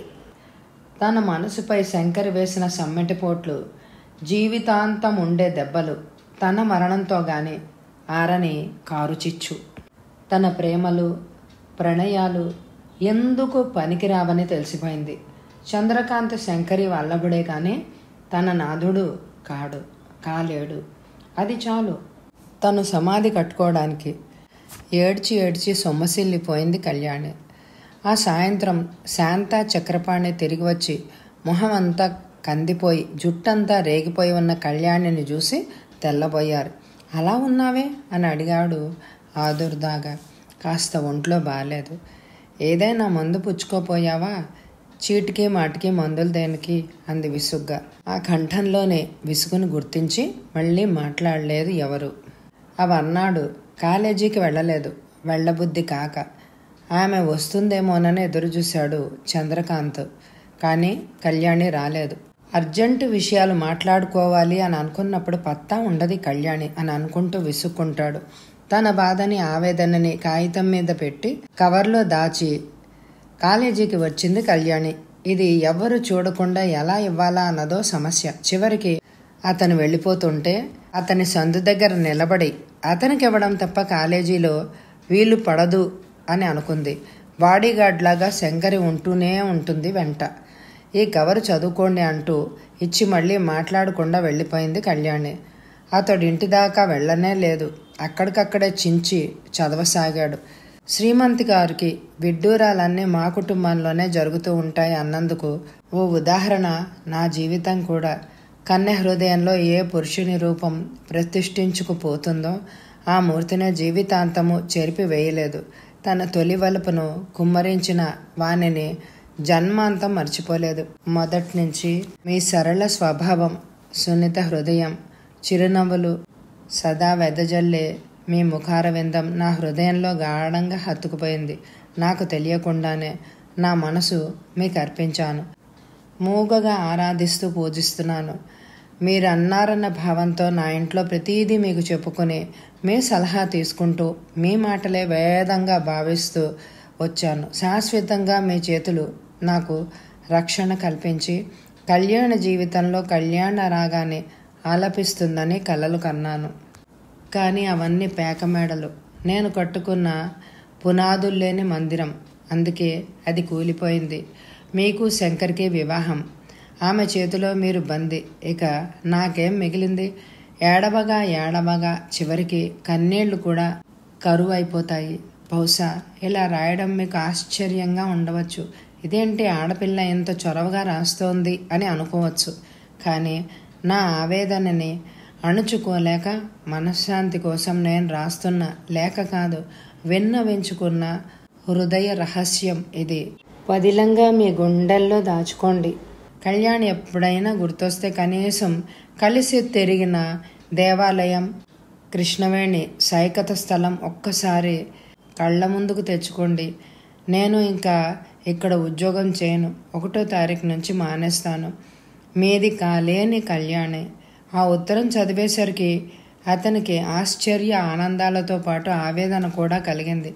పిచ్చి కళ్యాణి నువ్వు నన్నెంత ఆరాధిస్తున్నావో? అంతకు పది రెట్లు నేను నిన్ను ఆరాధిస్తున్నాను. ఇలాంటి శంకరీలు వాళ్ళ నాన్నలు వందలు వేలు అయినా మనల్ని విడదీయలేరు అని అనుకుంటూ అక్కడే నాలుగు సార్లు చదువుకున్నాడు ఆ ఉత్తరం. చదువుకున్న కొద్దీ ఒక విధమైన వింత పులకింత. దీనంగా చూసే కళ్యాణి కలగా పులగమై ఆందోళన కలిగించాయి. అర్థం చేసుకోలేని కళ్యాణి ఏ అఘాయిత్యం చేయకుండా ఉండాలి అని అనుకుంటూ కోటి దేవుళ్ళకి మొక్కుకున్నాడు. తన ఉత్తరం చదువుకునే ఉంటాడు. చదువుకుని ఎలా అర్థం చేసుకున్నాడో ఏమో అనుకుంది ఆమె బాధగా. ఆ మర్నాడు ఆదుర్ద భయం అశాంతి అన్నీ కలబోసుకుని వచ్చిన దగ్గర నుంచి ఆమె కళ్ళు చంద్రకాంత్ కోసమే వెతుకుతున్నాయి. అతని దర్శనం మాత్రం కాలేదు. ఆమె హృదయం పూర్తిగా విరిగిపోయింది. వరుసనే అతను మూడు రోజులు కనిపించలేదు. నాలుగో రోజు రిజైన్ చేసినట్లు కాలేజీలో లెటర్ వచ్చింది. చూసి చిందులు శివాలు తొక్కాడు ప్రిన్సిపాల్ కృష్ణమూర్తి. బగ్గున మండింది శాంకరి. ఆ పొగలు సెగల మధ్య విసురుగా కళ్యాణి దగ్గరకు వచ్చింది కళ్యాణి చంద్రకాంత్ ఎందుకు రిజైన్ చేశాడు? అని అడిగింది. ఆ వార్త అంతవరకు తెలియని ఆమె తలపై పిడుగులు పడ్డాయి. ఏమో నాకేం తెలుసు? అంది కంఠం పెగల్చుకొని. ఏమీ తెలియనట్టుంటున్నావు? అందరికీ గోతులు తవ్వుతూ ఉంటావు. ఆ మాటకి సహనం చచ్చిన కళ్యాణి నా గోతిలో నేను పడ్డమే కానీ ఇంకొకళ్ళకి గోతులు తీయడం నాకు చేత కాదు. అలాంటివన్నీ మీబోటి వారికే చెల్లుతాయి. మాటలు తిన్నగా రాని తిన్నగా కాక వంకరగా ఏమీ మాట్లాడడం లేదు నేను. మీరు నమ్మినా నమ్మకపోయినా తనెందుకు రిజైన్ చేశాడో నాకు తెలియదు. మీరు చెప్పేదాకా అసలు నాకు తెలియనే తెలియదు కూడా. అంటూ మరో మాటకు ఎదురు చూడకుండా అవతలకు వెళ్ళిపోయింది ఆమె. కోపంతో ఎంతసేపు ఊగిపోయినా ఏం చేసేందుకు లేక ఆ పూటంతా స్టూడెంట్స్ని అదరగొట్టింది శంకరి. తను రిజైన్ చేసేద్దామని కూడా తను మానేస్తే ఇంకా ఎన్ని అనుమానాలు పుట్టుకొస్తాయో అని హడలి ఊరుకుంది ఆమె. అప్పటికే చంద్రకాంత్ గారి కోసం ఇద్దరు ఆడ లెక్చరర్ల తాపత్రయం అంటూ న్యూస్ పేపర్లలో హెడ్డింగ్ లాగా అంతా చెప్పుకోసాగారు. దీనికే తలెత్తుకోలేకపోతోంది. ఈ గొడవలేమి ఇంటి దగ్గర చెప్పలేకపోయింది కళ్యాణి. తనలో తానే కుళ్ళిపోసాగింది. ఆ రోజు కళ్యాణి పేరున రిజిస్టర్ లెటర్ వచ్చింది. హడిలిపోతూనే సంతకం చేసి తీసుకుంది. చింపి కింద సంతకం చూసింది. చంద్రకాంతిది ఆ పేరు. చదివేసరికి ఆమె గుండె ఒక్క క్షణం కొట్టుకోవడం మానేసింది. ఒళ్ళంతా చెమట పట్టింది. వణికే చేతులతో చదవసాగింది. ప్రియమైన కళ్యాణికి నేను నీతో చెప్పకుండా వెళ్ళిపోవలసి వచ్చినందుకు ముందుగా క్షమార్పణలు కోరుకుంటున్నాను. అక్కడ ఉద్యోగానికి రిజైన్ చేశాను. ఆ సంగతి నీకు తెలిసే ఉంటుంది. ఎందుకో తెలుసా? జోరీగల్ లాంటి శంకరి వాళ్ళ నాన్న గోల భరించలేక సగం. అదృష్టం కలిసి వచ్చి సగం. మా బాబాయ్ ఒక లక్ష రూపాయల స్థితిపరుడు. అతనికి పిల్లా జల్లా లేకపోవడంతో ఆయన ఆఖరి గడియల్లో నాకు టెలిగ్రామ్ ఇప్పించాడు. నేను వెళ్ళాను. ఆయన ఆస్తంతా నా పరం చేసి కన్నుమూశాడు. ఆయన కర్మకాండలన్నీ నిర్వర్తించి హడావిడి తగ్గాక రాస్తున్నాను ఈ ఉత్తరం? కళ్యాణి నీకెలా నాపై మనసుందో నాకు కూడా నీపైన అలాంటి మమకారమే ఉంది. అయితే ఎప్పటికప్పుడు నా మనసు బయట పెట్టాలి అని అనుకున్నాను. అల్లకల్లోలంగా ఉన్న నీ కుటుంబ పరిస్థితులకి వాటి పరిష్కారం ఆలోచిస్తూ గడిపానే గాని నా మనసులో మాట చెప్పలేదు. శంకరితో నా వివాహం అనేది అసంభవం. ఆ మాట వాళ్ళు అడిగినప్పుడే చెప్పాను. అప్పటి నుంచి నన్ను దుమ్మెత్తి పోస్తుంటే నాకు ఒళ్ళు మండింది. పని చేస్తున్నాను జీతం ఇస్తున్నాను. దానికోసం వాళ్ళ అడుగులకి నూరేళ్ళ పంటైన వివాహ విషయంలో కూడా వాళ్ళకే తలవగ్గమంటావా అందుకే అక్కడి నుంచి తప్పుకోవాలి అని అనుకున్నాను. ఇప్పుడు అలాంటి విద్యా సంస్థ నేనే ప్రారంభిస్తున్నాను ఇక్కడ మా బాబాయ్ గారి ఊళ్ళో. ఆయన పేరుతో. అంచేత నువ్వు ఇక్కడే పనిచేయచ్చు. రేపటి పేపర్లో అడ్వర్టైజ్మెంట్ ఉంటుంది. నువ్వే చూడు. నువ్వు మీ వాళ్ళతో సంప్రదిస్తే నేను వచ్చి వివాహం చేసుకొని తీసుకువెళ్తాను నిన్ను. ఇప్పుడు నా దగ్గర పనిచేయడానికి వసంతను కూడా తీసుకున్నాము అంటే అతనికి ఏ లోటు ఉండదు. అనవసరమైన క్లేశాలతో మనసు పాడు చేసుకోకు. శంకర్ లాంటి వాళ్ళ శశభిషలకి లొంగే రకాన్ని కాదు నేను. అది గుర్తుంచుకో. నా మనసు నీది. నీ మనసు నాదే. మన ఇద్దరం ఒకరికొకరం తోడు నీడ అన్నిటా మరి ఉంటానే నీ చంద్రకాంత్. ఆ ఉత్తరం చదివేసరికి సంభ్రమ ఆశ్చర్యాలతో ఆనందంలో మునిగిపోయింది కళ్యాణి. కన్నీరు పన్నీరైంది. ఆ ప్రదేశమే వివాహ వేదికగా మోగుతున్న కాలేజీ గంటే మంగళ వాయిద్యంగా మై మరిచిపోయింది భగవంతుడా నా మనసు మన్నించావు అని అనుకుంది. భక్తిగా మనసులోనే అంజలి ఘటిస్తూ. ఆలస్యం అమృతం విషం అన్నట్టు. ఆ రోజే చక్రపాణికి చెప్పింది. పిల్ల పెళ్ళి చేయలేదే అనుకుంటున్న వరుడిని ఆమె కుదుర్చుకున్నందుకు మనసారా ఆనందించాడు చక్రపాణి. అందుకు అంగీకరిస్తే మనసులు పెనవేసుకున్న ఆ జంట ఏకం కావడం ఎంతసేపు? ఒక శుభముహూర్తాన చంద్రకాంత్ కళ్యాణి మెడలో మూడు ముళ్ళు వేశాడు. పెళ్ళికి స్వయంగా వెళ్ళి వసంతిని శిరోమణిని పిలుచుకొచ్చింది కళ్యాణి. శిరోమణిలో కూడా మార్పు కనిపించింది కళ్యాణికి. మాటలో చేతలో తామసం విసురు తగ్గి మర్యాద మన్నన అలవడ్డాయి ఆమెకి. మిస్టర్ వసంత్ నువ్వు నా స్కూల్లో మాస్టర్ అవుతావా? అని అడిగాడు చంద్రకాంత్. అయ్యా బావగారు మీకు మీ పంతులు ఉద్యోగానికి శతకోటి వందనాలు. నేను పిల్లల గోళలు చచ్చినా భరించలేను. నాకా ఒకరి కింద పని చేయాలన్నా పెద్ద ఇష్టం లేదు. అయితే బిజినెస్ చేస్తావా? అని అడిగాడు చంద్రకాంత్. అవును టీ స్టాల్ పెట్టాలని ఉంది. టీ స్టాలా? నీకు టీ తాగడమే సరిగా రాదు కదా. ఇంకా స్టాలే నడుపుతావోయ్? అంటూ చమత్కరించాడు Chandrakanth. Tea stall name insult బావగారు. ఈ మధ్య నేను నైట్ డ్యూటీలో టీ స్టాల్లో పనిచేసి కావలసినంత ఎక్స్పీరియన్స్ సంపాదించాను. అదంతా విజయవాడ పౌరుల మీద. రుద్దందే నిద్ర పట్టేటట్టు లేదు అన్నాడు వసంత్. అతని మాటలకి చక్రపాణి కూడా నవ్వొచ్చింది. అయితే నీ టీ స్టాల్ ఓపెనింగ్కి ఎంత కావాలంటావు? ఎంత? ఒక వెయ్యి నూట పదహారులు ఉంటే మీ పేరుతో ఓపెన్ చేస్తాను అన్నాడు వసంత్. ఆ మాటకి నవ్వి. అలాగే ఇస్తా కానీ చంద్రకాంత్ టీ స్టాల్ అంటే బాగాలేదు కానీ వసంత్ టీ స్టాల్ అంటూ ఉగాది నాడు ప్రారంభించామంటే బ్రహ్మాండంగా ఉంటుంది. మరి వేపు పచ్చడిలాగా అంటూ కళ్యాణి అందుకుంది.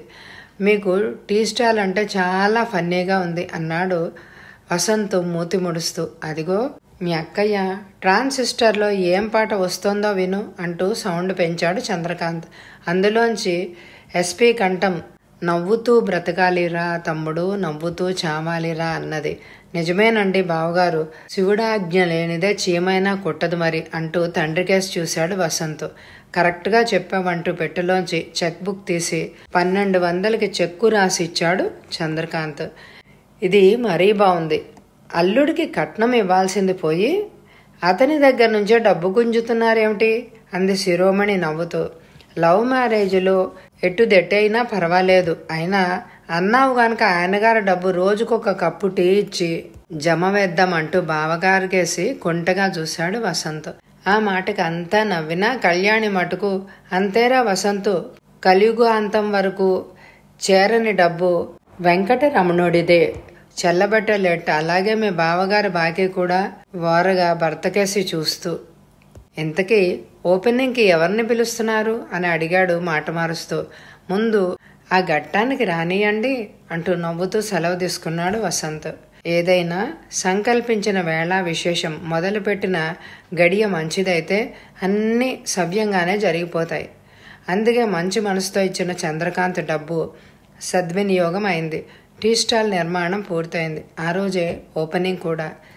కాలానుగుణంగా మనము మారాలన్న అభిప్రాయం వల్ల కానీ లేకపోతే పునర్వివాహ భావం కానీ మొత్తానికి శాంతని దేవకిని తీసుకుని చక్రపాణి ఆ స్టాల్ ఓపెనింగ్కి హాజరయ్యాడు. వసంత్ టీ స్టాల్ ప్రారంభోత్సవం నాడు అంతా హాజరైతే చూసి ఆనందపడిన వసంత్ ఓపెనింగ్ కళ్యాణి చేత చేయించాడు. మొదటి కప్పుకి డబ్బులిచ్చి కొనుక్కుంటాను అన్నది శాంత. శిరోమణి అందరికీ సర్వ్ చేసింది. అందరి మనసుల్లోనూ ఏదో ఉత్సాహం ఏదో ఉత్తేజం భవిష్యత్తుపై కోటి తీయని కలలు. పైకి రాగలమన్న ధీమా తాండవం ఆడుతూ ఉంటే చూసి నిట్టూడ్చాడు చక్రపాణి. వయసు మళ్ళిన వాడిని వలచి తన హృదయము తన శరీరము తన సంపాదన అన్నీ సమర్పించిన శాంత త్యాగ నిరతకి మెచ్చినట్లుగా భగవంతుడు.